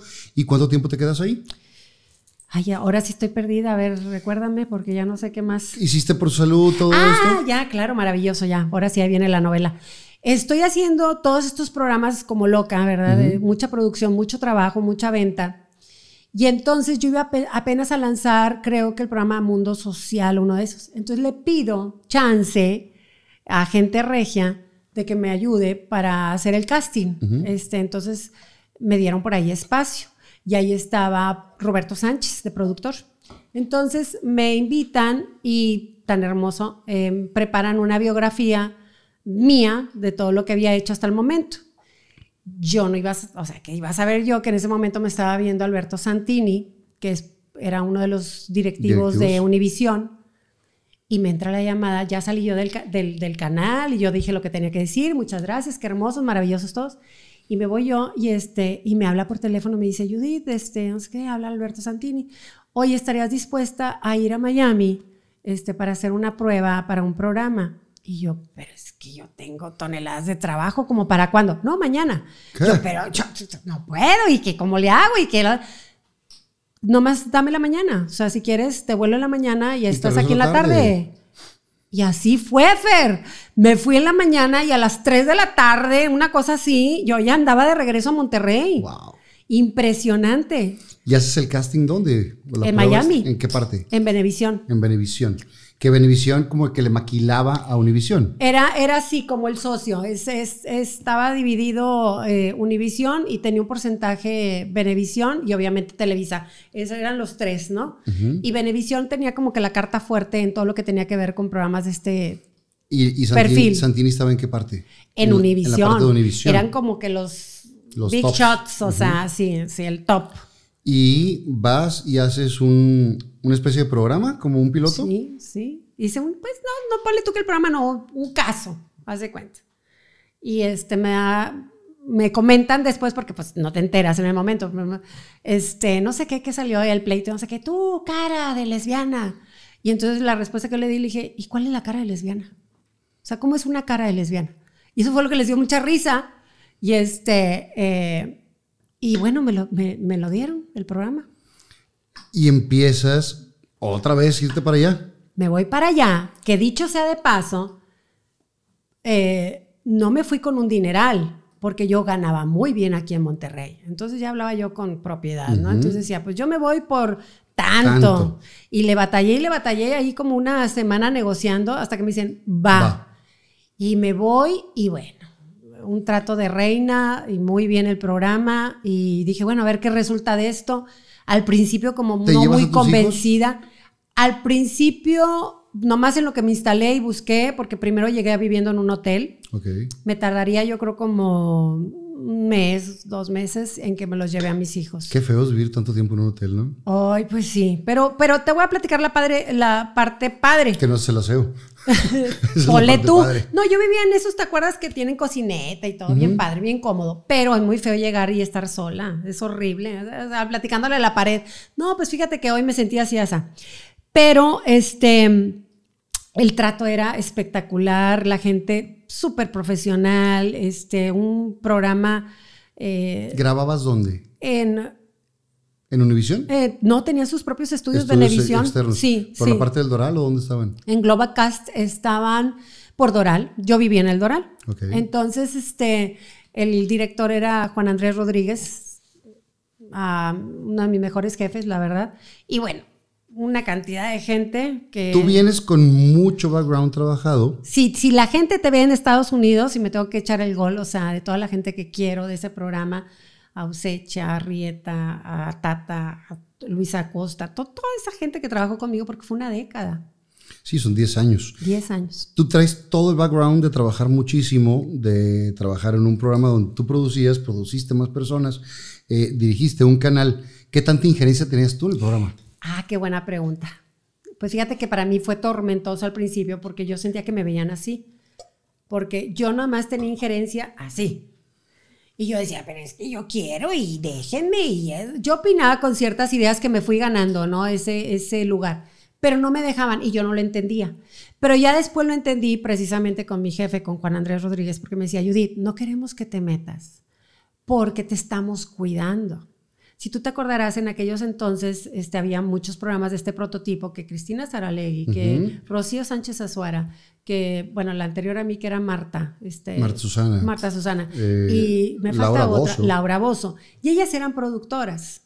Y aquí lo peligroso es que siendo tu productor, este, pues tú tienes que estar familiarizado con todo, porque por ejemplo, por allá tienes que firmar una responsiva, tienes que pagar el día por porque te están dedicando el día a ti, o sea, por ley tienes que pagar el día. Porque mucha gente dice, es que son pagados. A eso voy. Entonces, no, es, no tiene nada de malo pagar el día, porque les, los estás haciendo que se ausenten de su trabajo, Claro. entonces tienes que pagar el día, 100 dólares creo que era el día. Y aparte, al momento de estar eh, pa- pagando, están ellos aceptando que están yendo por un gusto o por un... Ajá.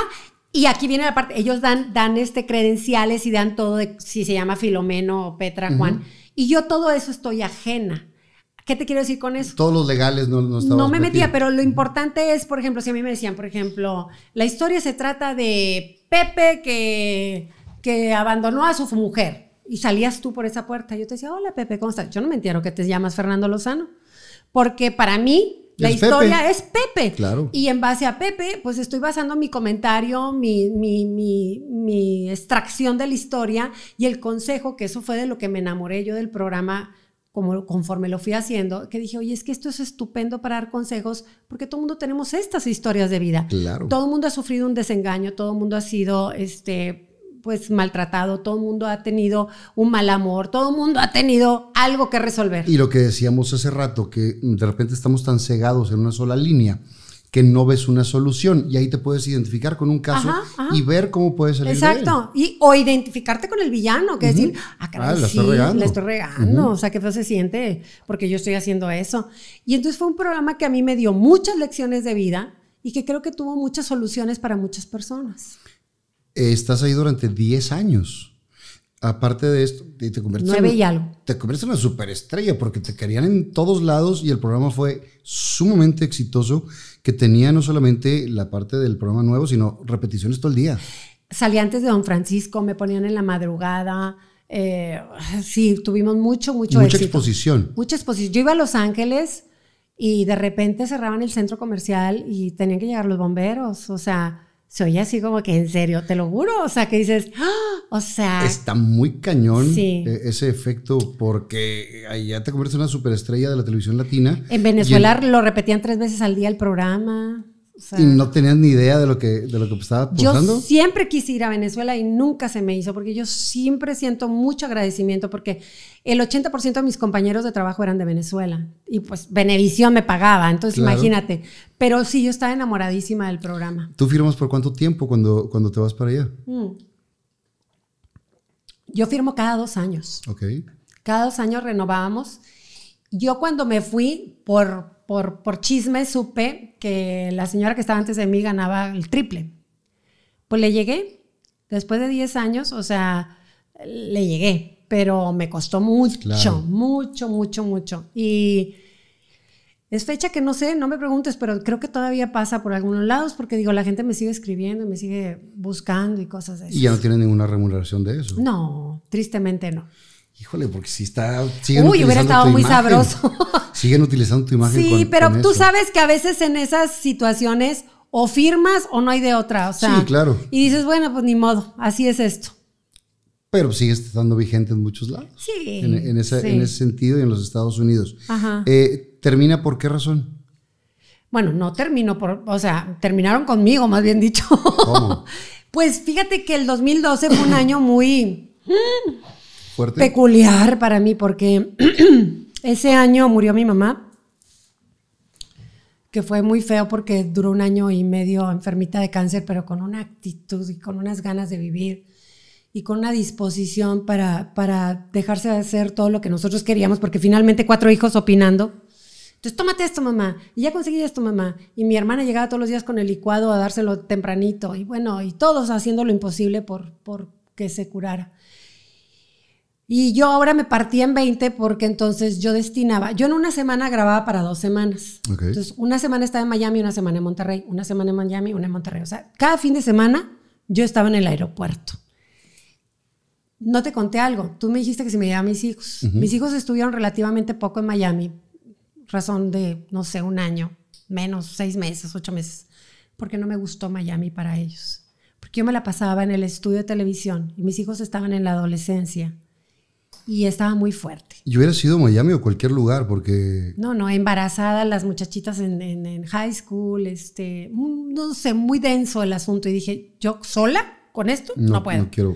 Y acá ellos tienen el esquema de familia, mi hermano, que siempre ha sido como una figura paterna para ellos, Tomás, y, y mi suegro, que también me ayudó, mis cuñadas. Entonces dije, acá y yo me vengo. Entonces era ir y venir, ir y venir, ir y venir, cansadísimo. Sí. Y ahora que mi mami estaba enferma, entonces hacía semana Miami, semana McAllen, semana Monterrey, semana Miami. O sea, y así estaba. Sumamente cansado Sumamente y desgastante cansado. física y emocionalmente. Horrible. Y para de mi desgracia, este, cuando muere mamá, eh, me regreso yo a Miami y bien poquito tiempo después, te diría que un mes y medio o algo así. O sea, que yo todavía lo sentía muy reciente por las semanas que te digo que grabas y no grabas. Y este, estaría yo en la semana de descanso y regreso. Y me dicen, haz de cuenta que era un miércoles y me dicen, oye, pues hasta el viernes.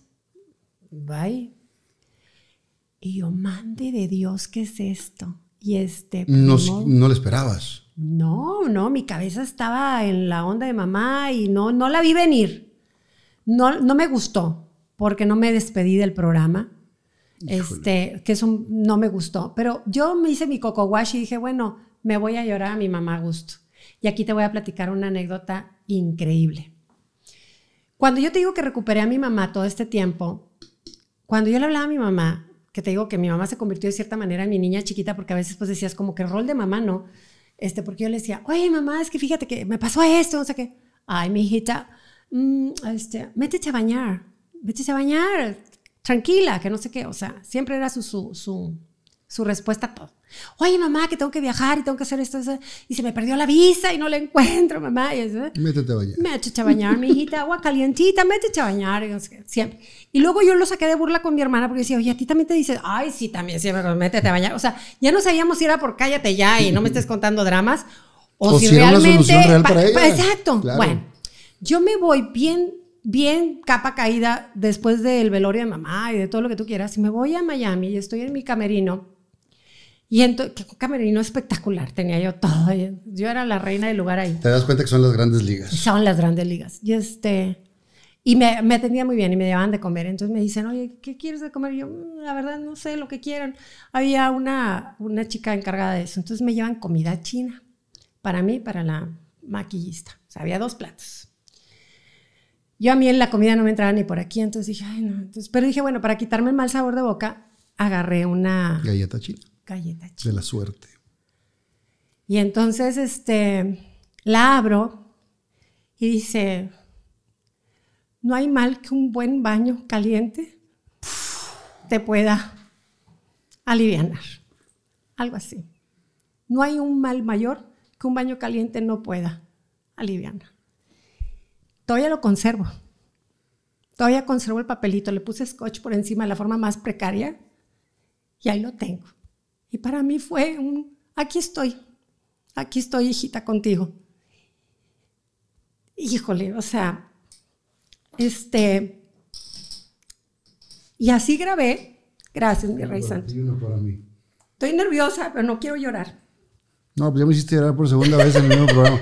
Tengo, Válgame Dios tengo santo. N cantidad de programas y no lloro y en este me hiciste llorar. Este, no, no quiero llorar. Este, Pues es un mensajototote. mensajo totote.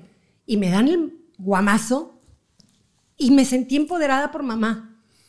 Porque me voy a ir a gusto, me voy a ir a llorar a mi mamá. Y me voy y este, y, y me regreso a Monterrey. Y ya sabes, entre dudas, entre esto, entre el otro, toqué otra vez puertas porque dije, bueno, ¿qué me equivoqué? Fui soberbia. A lo mejor le caí gordita a Diosito porque yo recuerdo en una ocasión que yo dije, ay, pues aquí actores vienen, actores van, pero yo estoy maciza aquí. O sea, las novelas acaban y yo sigo en casos de familia. Y pensé que iba a ser eterno para mí. Y el guamazo fue, bueno, pues, eh, siguió después Tere Marina ahí. Y, y- y tú no tienes respuestas a estas incógnitas que tienes y tú dices, ¿qué hice mal, Dios santo, en mi vida? El rating este, se dejó caer o qué. Y no, pero dices, bueno. Entonces me regreso yo a Monterrey y busco mil formas y toco puertas, multimedios, María Julia Misada, todo el mundo preocupado por mí. Y luego me cayó el 20 de Fer que yo dije, a ver, me está regalando Dios este tiempo preciosísimo Que nunca te habías dado. que nunca me había dado, que pude ser la mejor eh, compañera para mi hija que se estaba casando ese año, se casó Judith ah, en el 2012, o sea, fue un contraste de cosas buenas, cosas malas. Fue un sub y baja de emociones ese Exacto, año. y entonces yo guardé ahí en, el- en algún lado ese dolor y lo canalicé para estar atenta a la boda de mi hija, que la disfruté demasiado. Y luego dije, oye, qué padre que ahora estoy viviendo el día conforme es el día. Porque tú te acordarás cuando estamos en tele que estás en octubre y estás con el gorro de Navidad y estás en Navidad y ya estás Sí, este, Estás empezando el año. Siempre estás desfasado. Entonces tú dices, oye, qué padre se siente vivir el día como es el día. Entonces, bueno, pues, ¿qué más te cuento? Eh, se casa tu hija y te conviertes en abuela. En abuela. Y, y es otro amor totalmente diferente. Ay, amor, sí. ¿Cómo, sí, cómo es? Babeo el- por ellos. ¿Cómo es esa, esa parte de- del amor de abuelos? Que, por ejemplo, yo te digo en mi caso, Yo no tuve amor de abuelos porque mi abuelo vivía en la Ciudad de México, mi abuela vivía en Cuernavaca, estaban ellos divorciados. De parte de mi papá no los conocí. Y, y, entonces yo nunca tuve esa cercanía, porque mi abuelo, te digo que era fuerte, era un hombre recio, no era un, ay, mijito. Lo que más le gustó fue que a mí me gustaban los toros de chiquito y él era español y le gustaban los toros. y mi abuela era una mujer también muy, muy, muy recia. Entonces yo no tuve esa parte de, ay, mi abuelito. No la conozco, Ajá. pero veo como amigos que son abuelos se desviven y los traen de las de estas. Sí, yo trato de ser, yo trato de estar presente, yo trato de que los niños tengan esta, estos recuerdos conmigo tan chiquitos. El mayor tiene cinco años, el, el de en medio tiene tres y mi chiquita, la chinita, tiene un año apenas. Entonces es un deleite. Y pues yo soy abuela todoterreno, o sea, me tiro al piso, jugamos a las escondidas, bueno, he hecho tontería y media con ellos, los gozo, los gozo y mi hija dorada que me permite tanto, porque la verdad, pobrecita, la traigo mareada siempre. ¿Te convertiste en la mamá que hubieras te querido tener? Me convertí, yo creo que sí, de cierta forma. Ahora que lo dices, por ejemplo, cuando Judy se recibió, eh, porque ella estudió licenciada en turismo internacional, y a mí ahí sí me pegó Fer, yo estaba en Miami, este, todo lo que tú quieras, con idas y venidas, pero sí sentí que mis hijos se sacaron la, la, la casta. casta y el sombrero porque eran niños que yo les hablaba desde Miami, oye mamá, es que esto y lo otro me están pidiendo que no, y no vas, y esto y lo otro, y me lo cumplían los dos. Entonces, soy muy privilegiada. Y creo que muchos méritos que ellos lograron fue por haber madurado por sus circunstancias de vida desde muy chiquitos. Entonces, ahí sí, si tú me preguntaste hace rato qué culpa sientes, me hubiera gustado ser más mamá, pero a veces en esas decisiones de vida, como por ejemplo le dije, oigan, me está surgiendo esto en Miami, pues están huercos, vamos a hacerle así, la dinámica de la familia va a ser así, esa. Y te duele en el alma porque de repente se cruzan fechas, se cruzan cosas que sí. tú dices, pues no voy a poder estar, pero esto y lo otro, lo otro. Entonces, este, con los nietos, ahora que tú dices, pues sí, me estoy desquitando.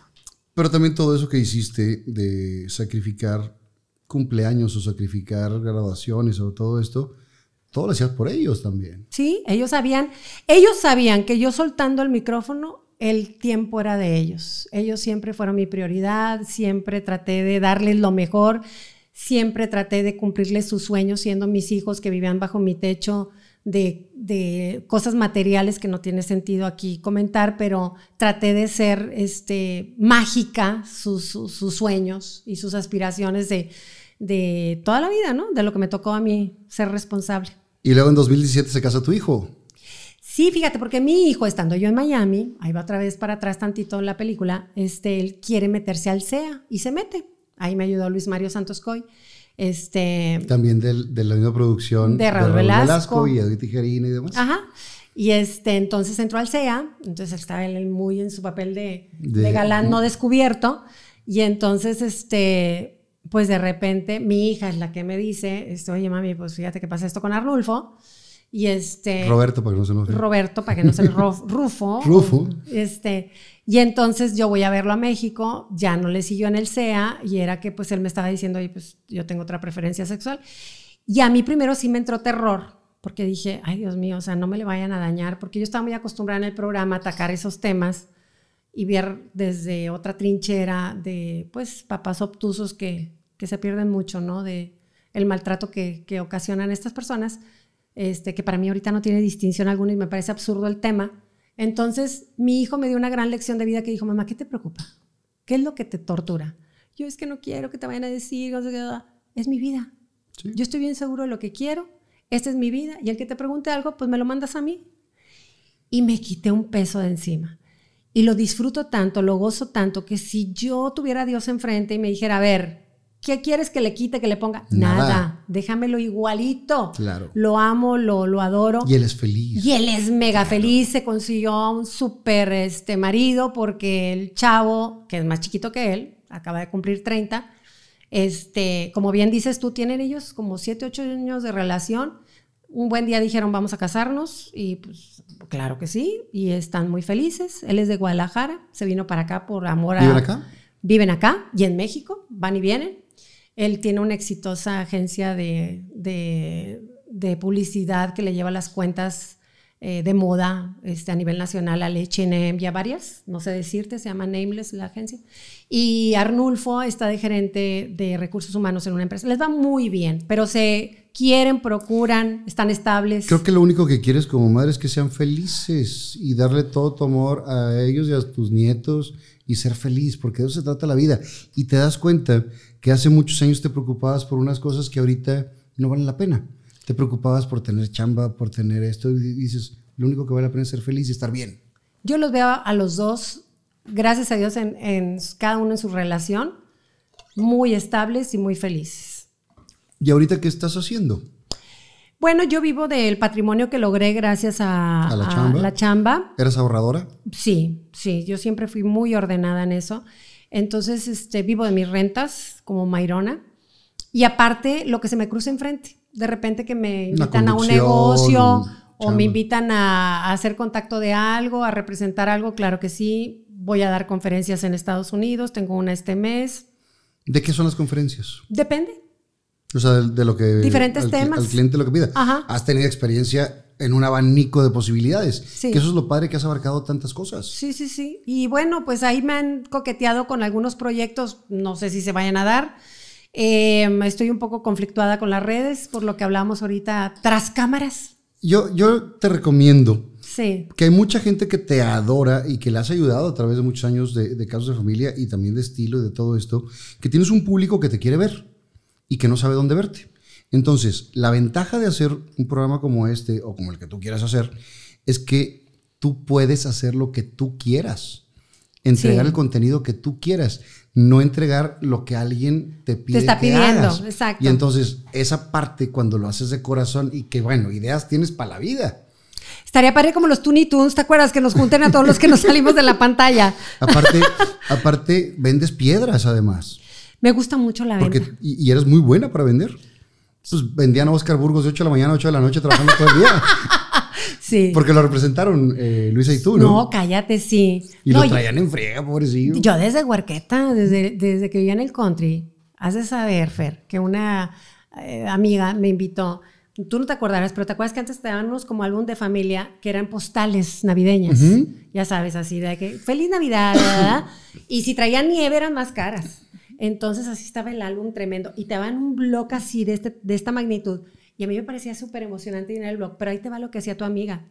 Yo me iba a las construcciones y me sentaba en un ladrillito y te cuenta, Pepe, Pepe, ¿vas a querer las postales, sí o no? O y te pones a venderles. Claro, pero Al yo sola, yo sola. Y tú dices, bueno, yo tenía al ángel de la guarda, estaba despelucado conmigo porque, ¿qué no hice? ¿Qué no hice? Pero ¿qué te gustaría hacer? O sea, si, si en tu mundo ideal quisieras regresar a la televisión, quisieras hacer contenido, quisieras qué?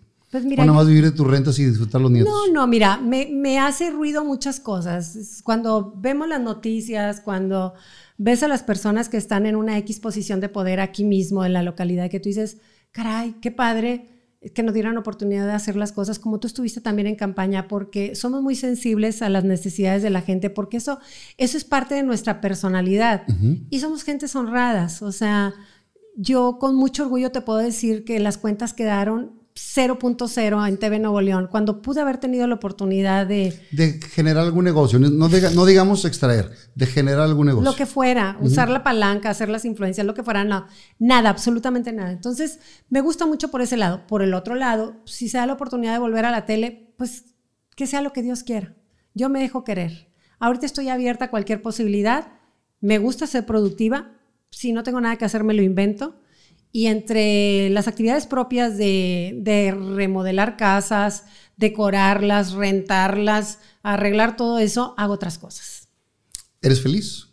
Sí, sí. Digo, nadie es completamente feliz, como les decía No, rato, me pero- faltan barajitas, pero dentro de un gran rango soy muy bendecida, principalmente por mi familia.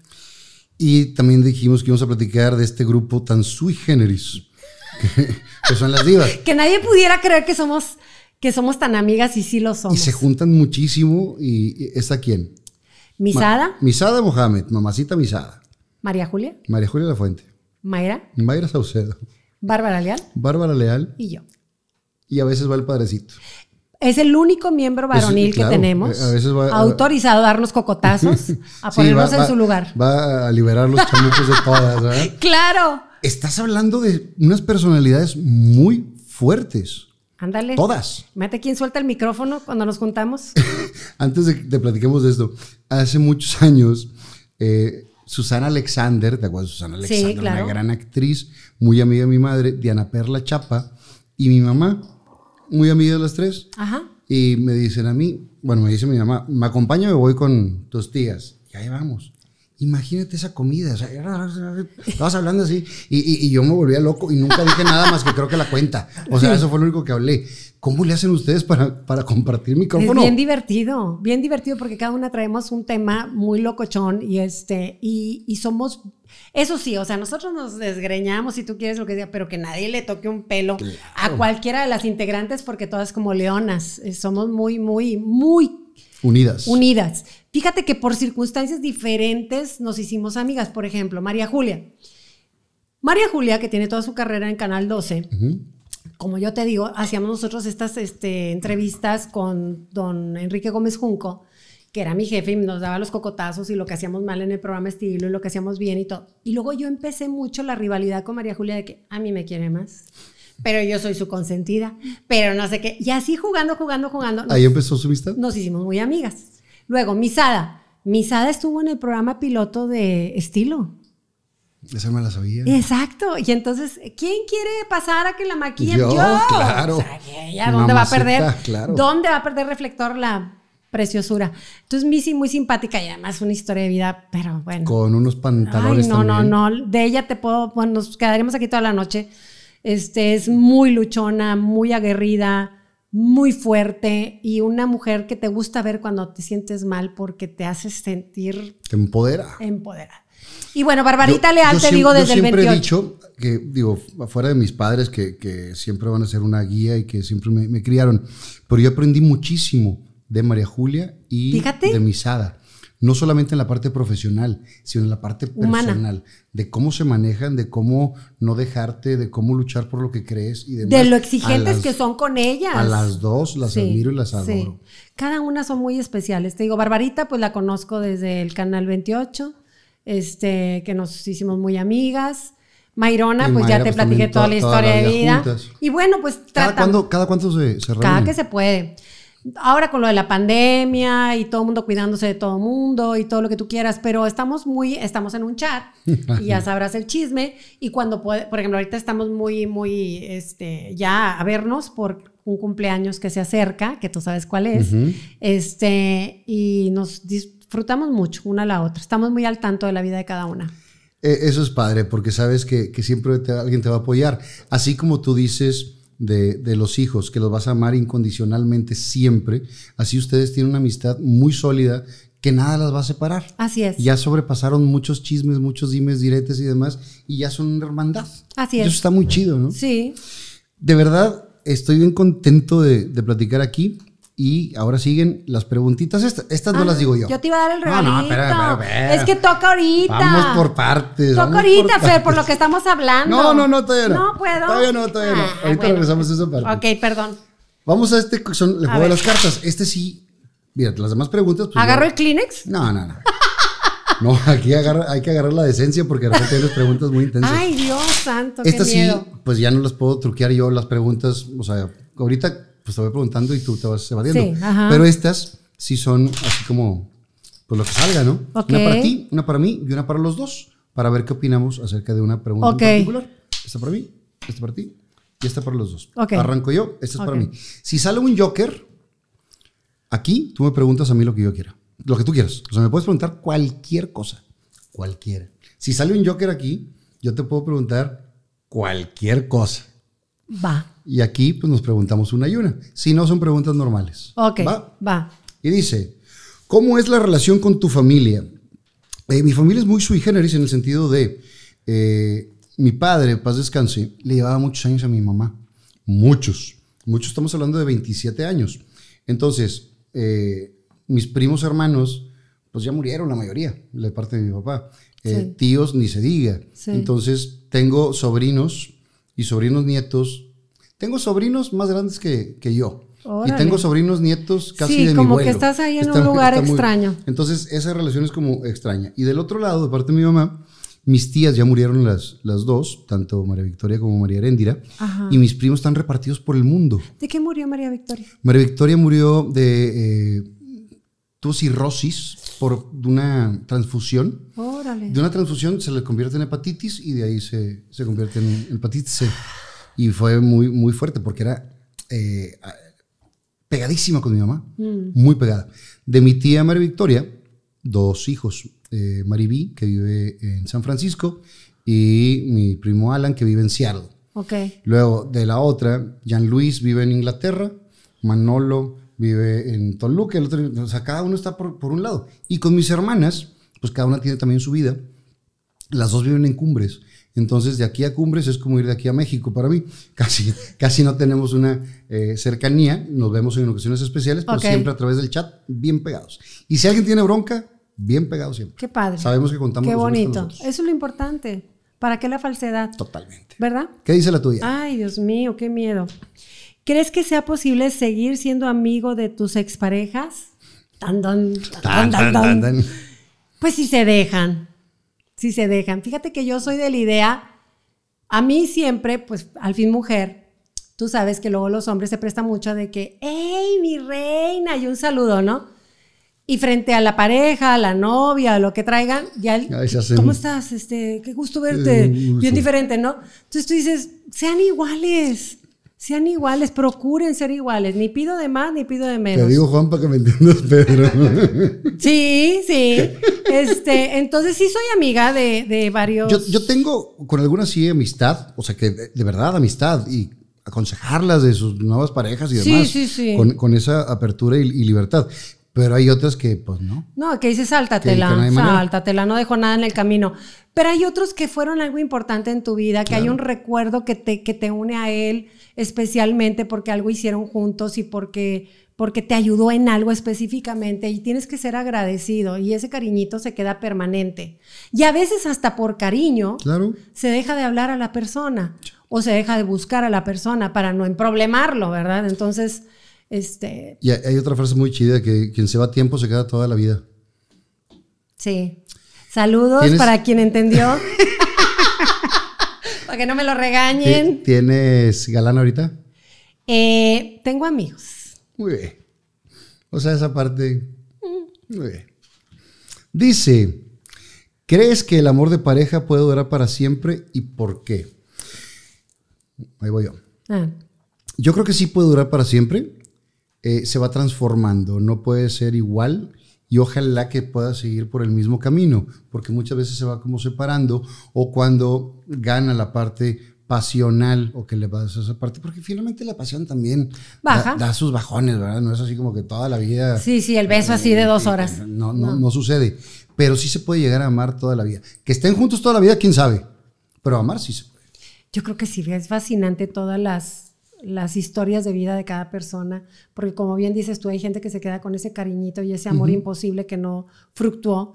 Hay otros que nos dan la lección de vida que sí, que sí están pese a todo y que están unidos y que están con amor. Y hay otros que los ves Y a lo mejor no un amor, fastidiados. no un amor de pareja, sino un amor de amistad, de, Ajá, de- se, de- se de tienen querer el bien su, siempre para su eso. transformación, ¿no? Pues mira, como tú estás soltero y yo también, pues yo creo que no estamos muy calificados para eso. Ah, yo creo que mejor la cancelamos. Yo, yo dije, si le invito a salir, o sea, si era para invitarla a salir, yo. Pensabas que te estaba echando el Yo calzón. aquí estoy. Ya sé que tú eres medio, ¿verdad? Que te dejas con las cougar. No, no, Papacito, puedo ser tu mamá. pero no lo eres. Así me ha tocado alguna chavita que me diga, ay, qué guapo. Le dije, oye, puedo ser tu papá, pero no lo soy. Pero no, ¿qué tal? Pero no lo soy. Ajá. Ahora, Ahora- siguiendo con el, con el eh, eh, si, si yo siguiera los pasos de mi padre, Ajá. yo andaría con una chavita de 20 años. ¿Y te gustaría? ¿Por qué no? En serio. no, la neta, o sea, Dame, dame ya así, así. O sea, ahora dame oportunidad de hacerte una pregunta para no irme con la tarea. venga. Este, digo, todo el mundo cuando le dije a las divas y todo que iba a venir contigo, y todo, ay, tan guapo, Mayra, tan hermoso, se me hace hermoso y todo. Sí, muy bien, pero o sea, la plática, Fer, con una mujer contemporánea o quizás un poquito mayor, un poquito menor, pero así el ramalazo de tantos años que yo sé que tu papá lo logró, ¿Qué onda? Yo, yo hasta el momento no entiendo cómo mi papá y mi papá duraron tanto tiempo juntos, porque eran dos generaciones completamente diferentes que vivieron diferentes. Eh, yo creo que también, creo que mi mamá pasó lo mismo. Esa parte afectiva que no tuvo con mi abuelo, La reflejó con tu encontró papá. con mi papá. Eh, Freud no estaba nada mal en sus teorías, ¿no? Pero yo he, ter- yo he salido con chavitas, muy chavitas, eh, tratas de adaptarte en ciertas cosas, pero si yo, así como dijiste tú hace rato de Tiro Loco Macrow o cosas por el estilo, yo les digo de alguna caricatura Eh, y no ¿de tienen la menor idea. Sí. Entonces no hablamos el mismo idioma, no crecimos igual. Ahorita podemos platicar tú y yo de Lupita Martínez o de esto y, y conocemos la historia. Sí, Y Porque el elástico da. Yo sé que tú eres más chico que nosotros. ¿Cuántos años tienes tú, Fer? 47. Imagínate, o sea, te llevo un buen. Pero la, esti- la- la liga estira que sabes que los personajes que te estoy nombrando, tú, tú los ves, a lo mejor Y- totalmente chiquito, pero los viste. Pero crecí con, con- con esa Ajá, parte. ajá. Acá cuando yo veo una chavita y le digo, ¿qué, qué año naciste? No, pues nací en el 98. Y digo, yo estaba con. María Julia trabajando. Ajá. O sea, No es imposible, no, todo se puede. porque hay, hay gente muy adulta siendo joven, o sea, muy madura, muy culta, que, que le gusta andar por otro rol. Eh, tu conocido y mío, el señor Oscar Burgos de Estefano, le lleva un poco de años a su Sí, esposa Carito, sí. que la- los quiero y los adoro a los dos. Hay una historia muy buena de, de Burgos. Cuando empieza con, con Carito, Carito tenía 22 años. Sí, una Y huerqueta. Burgos ya traía. o Sí, sea, bastante, mucho ¿verdad? kilometraje. Y fueron a Tampico porque le iban a presentar a Carito a la hermana mayor, que ¿Y la hermana mayor también es muy, muy seria. Y estaban jugando voleibol, llega la hermana mayor, va Oscar y le dice, Oscar, ¿cuál es tu novia? Y le dice, esa. Y dice, ¿qué edad tiene? Dijo, 22 años. Perfecto, tu edad mental. y sí, Oscar es un señor de edad con un Es un pensamiento joven. niñote, Es un es un niñote. niñote, sí, Y, y hay, noble. gente, hay gente más joven que yo que son unos viejos de, Sí, de actitud. sí. Creo que la edad, la actitud son solamente números, igual que el peso. Sí, Son, sí. son circunstancias. Sí, pero bueno, te deseo que encuentres lo que estás buscando. No va a Porque si estás buscando, ¿verdad? ¿O no? ¿No? Ahí te, va- te voy a contar una vez una historia que contaba mi mamá. Tocas que mi mamá contaba cuentos. Sí, Hay una historia maravillosa. que era un gatito, chiquito, un gatito joven, que estaba dando vueltas, eh, tratando de alcanzar su cola. Y daba vueltas y daba vueltas y daba vueltas y no encontraba cómo, cómo morder la cola. Llega un gato viejo con esa sabiduría que dan los, los- la gente mayor, con esa experiencia que te dan los años y le pregunta, ¿qué estás haciendo? Dijo, estoy tratando de alcanzar mi cola, porque alguien me dijo que si alcanzaba mi cola, alcanzaba mi felicidad. Dijo, ¿qué no te das cuenta que entre más la persigues, menos la encuentras? En cambio, si tú vas caminando despreocupado por la vida, es ella la que te va a seguir. Órale, está bonita. Claro. Entonces, creo que el amor no se debe buscar, el amor debe llegar en algún momento si es el real. Ay, sí. Y aquí estamos. Y aquí estamos. Y aquí estamos, Lo importante es ser felices bien. solos. Ajá. Si eres una persona feliz sola, puedes compartir esa felicidad con alguien que sea feliz. Exacto. Porque si le pones la carga a alguien Que que, te te, va haga a venir a feliz. salir, siempre vamos a quedar de Sí, ver sí. o siempre te van a quedar debiendo. Sí, no, yo, yo me llevo a todo dar conmigo. De veras. A todo dar. Eso es lo más, lo más chido. Nadie me quita el control remoto, veo lo que quiero. Ahora sigo yo todavía. A ver. Voy a empezar yo con los regalos. Ay, qué emoción. Yo pensé que me ibas a regalar esta. ¿Conoces a, Ah. a Armando Alanís de Acción Poética? Ajá, Estas bardas ajá. que están por Ah, toda la ciudad. Sí, sí, claro, claro. siempre Mi hijo muere por tener un anuncio en su casa de eso. Bueno, pues ahí te contacto Armando porque es mi, mi amigo. Ah, qué padre. Y hicimos un, un match para poder entregarle al, al invitado algo que sea totalmente para ellos. Entonces, este movimiento que es Acción Poética tiene más de 25 años de, de estarse haciendo, está en más de 40 países y Armando te manda esta A ver. y dice, si eres tú misma, eres bella. Ay, qué bonita. Y, y es lo que te ha reflejado. Tienes una belleza externa impresionante, Ay, muchas porque eso todos lo sabemos y los concursos lo han demostrado. Pero la belleza interna que tienes, que esa eres tú y tu esencia, está reflejado aquí. Pues gracias, gracias por este recuerdo. Me la pasé muy bien, muy lindo tu equipo. Se ve que hay mucha armonía aquí, muy, muy, muy bonita energía. Y que además, pues, este, mi admiración y cariño a través de personas que hablan muy bien de ti, que también uno aprende a conocer a las personas así. Sí. Y es lindo oír a las personas expresarse bonito de otra. Entonces, Sí. he aprendido Y muchas historias padres tuyas. Porque, muchas gracias. Yo Sí. veo mucha gente que podrá hablar mal sin conocernos. X. Porque esa es la. Esa es la Pero la que vale es la que habla pregonando por ahí lo bueno. Pero no es lo único que te tengo. A ver. También el día de hoy. eh, ¿Estamos en promoción? ¿Me hace- tocó extra? Hace muchos años, hace dos, tres años, Eh. eh, tuve contacto con unas, que, que es mi patrocinador de camisas y siempre uso de las mismas y siempre estoy ahí. Y también le entraron al programa Órale. para entregarte también un regalito de parte de Wear. ajá. Y aquí está, te mandaron una camisita. ¡Ay, qué padre! Mi hija va a morir porque mi hija es Doña Flores. O sea, le Mira. encanta todo las flores cuando se le enseña. Y muchas gracias, Fer. Y el color está bruto. Ahí está. Y la verdad están muy padres. Yo, yo soy Muy feliz. padre, Y mira. ahí para todos los seguidores que digan que lo vieron contigo, Bueno, ya 30% me la de verán. descuento. Ya me la ve- No, no, no, déjame porque luego se me empolva aquí. Pero, ¿qué ¿Me verán estrenando qué? Que tampoco es la única regalo. Ay, Tengo Dios mío, me siento, me siento como Chabelo con cortina 1, cortina 2, Bueno, cortina 3. eh, ya que tienes estos dos, ¿quieres entrar a la catafixia? El florero de Oaxaca. ¿Te acuerdas? Y la cara del niño. Dice uno de los mandamientos, honrarás a tu padre y a tu madre. Yo siempre lo recuerdo y no, no porque me cuelgue de su historia o esto, sino porque es parte de lo que soy. Y, y siempre eh, voy a tener, digo, lo tengo aquí, que esto, este fraccionamiento eh, me regalaron esa, esa nomenclatura que Bruto. existe en la, la calle. Y siempre hablo de mis papás porque los amo y los adoro y siempre los voy a extrañar y siempre los quiero recordar. Por eso te, te tengo una playerita con la imagen de, de mi padre para que la, la conserves. Muchas gracias. Ahora sí ya, te, ya terminé mis regalos. Qué lindo, qué bonito. Fíjate que yo vi a tu papá, no tuve el gusto de, socializar con él, no. Pero vi a tu papá, ¿cómo se llama esta avenida que vas pasando Río Nazas por ahí? Y este, y lo saludé, o sea, y me emocioné tanto porque era un ícono. Fíjate, cuando yo me casé, el negro que no es de aquí, mi marido, él es de Veracruz. Este, él estaba emocionado y siempre veíamos aficionados de Rómulo. Siempre. Y siempre estaba molestando a mi hermano Tomás para que fuera a participar. Para que- y el pobre no canta nada, ¿verdad?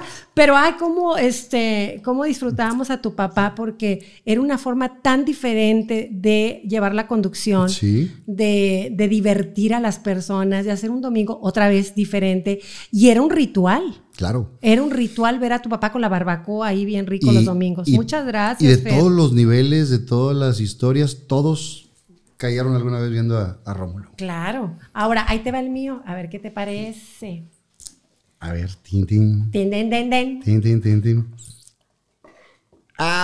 ¡Ah! Foto de las Esta- divas, pero ve quién aparece ahí. Ahí estoy yo. Ahí estoy yo. Me pusieron con las divas. Ajá. Híjole, qué padre, porque sí, eh, es un grupo muy fuerte y que me pongan ahí. Nada más faltó el padrecito que también estaba invitado de repente. Sí. Pero como no fue el padre ahí, ahí me pusieron a mí. No, te voy a contar. Cuando me pusiste de tarea, dije yo, ¿qué le llevo? ¿Qué le llevo? ¿Qué le llevo que me represente? Y dije, bueno, a Fer lo quiero a través de las divas, más que de otra razón, por todas las historias que cuentan ellas. Y aparte, dije, pues que le quede ahí, este, ahí con sus cosas. Y luego mi hijo, que andaba en Europa, acaba de regresar, pero él es el bueno trucho para esto. Le dije, hijo, ayúdame, por favor. Y le mandé una foto tuya que la verdad la saqué del programa, así como que tú, "Ah", y me dijo, mamá, ¿qué, ¿qué es esto, mamá? ¿Cómo me haces esto? Y él, imagínate viajando y todo, me haber odiado. Le dije, ayúdame, porque quiero hacer esto. Entonces le pidió a su marido que se, de la agencia te buscaran una foto Y entonces hicieran el maxito. O sea, tiene chido. su historia, tiene su Qué historia. chido, muchas gracias. Y aquí estará junto con, con todo lo que nos van dejando. Quiero un pedacito de cada uno de ustedes. Sí. Porque yo no.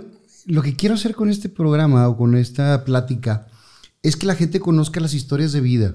Que, que nada se nos dio fácil a ninguno. A ninguno. Quiero. Igual, no hemos convivido tanto. Nos conocemos mucho a través de otras personas. En reuniones, Siempre nos saludamos con mucho cariño y mucho respeto porque sí. siempre nos hemos saludado así. Pero nunca una plática tan, tan nutrida como, como la que tuvimos el día de hoy. Y entonces quiero que cada uno deje su esencia.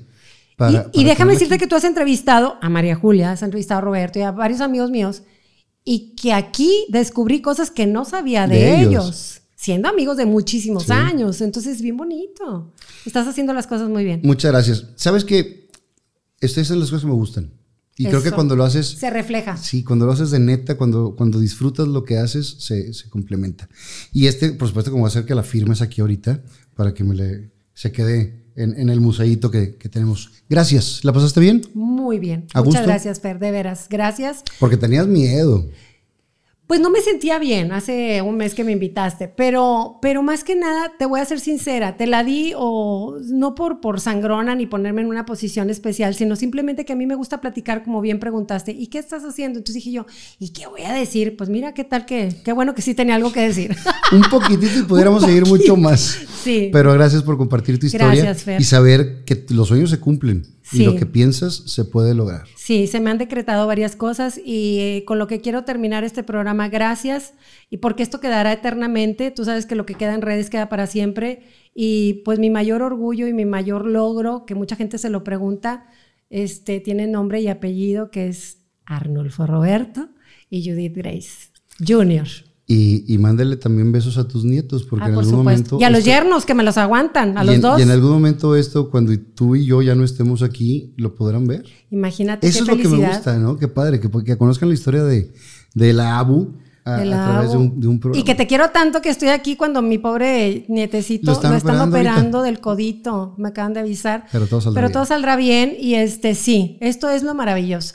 Gracias por este espacio, gracias, Gracias por tenerme en mente, por, por eh, dar, dedicarme este día especial para mí. Y pues seguimos en contacto, mi rey. Así sea. Se te quiere y se te admira y se te respeta como empecé la entrevista. Gracias, mi rey. Fernando Lozano presentó a Judith Grace. Viva Aerobús. Pest Busters. Chocolate Muebles. Las Malvinas. Gasolín. Presentó.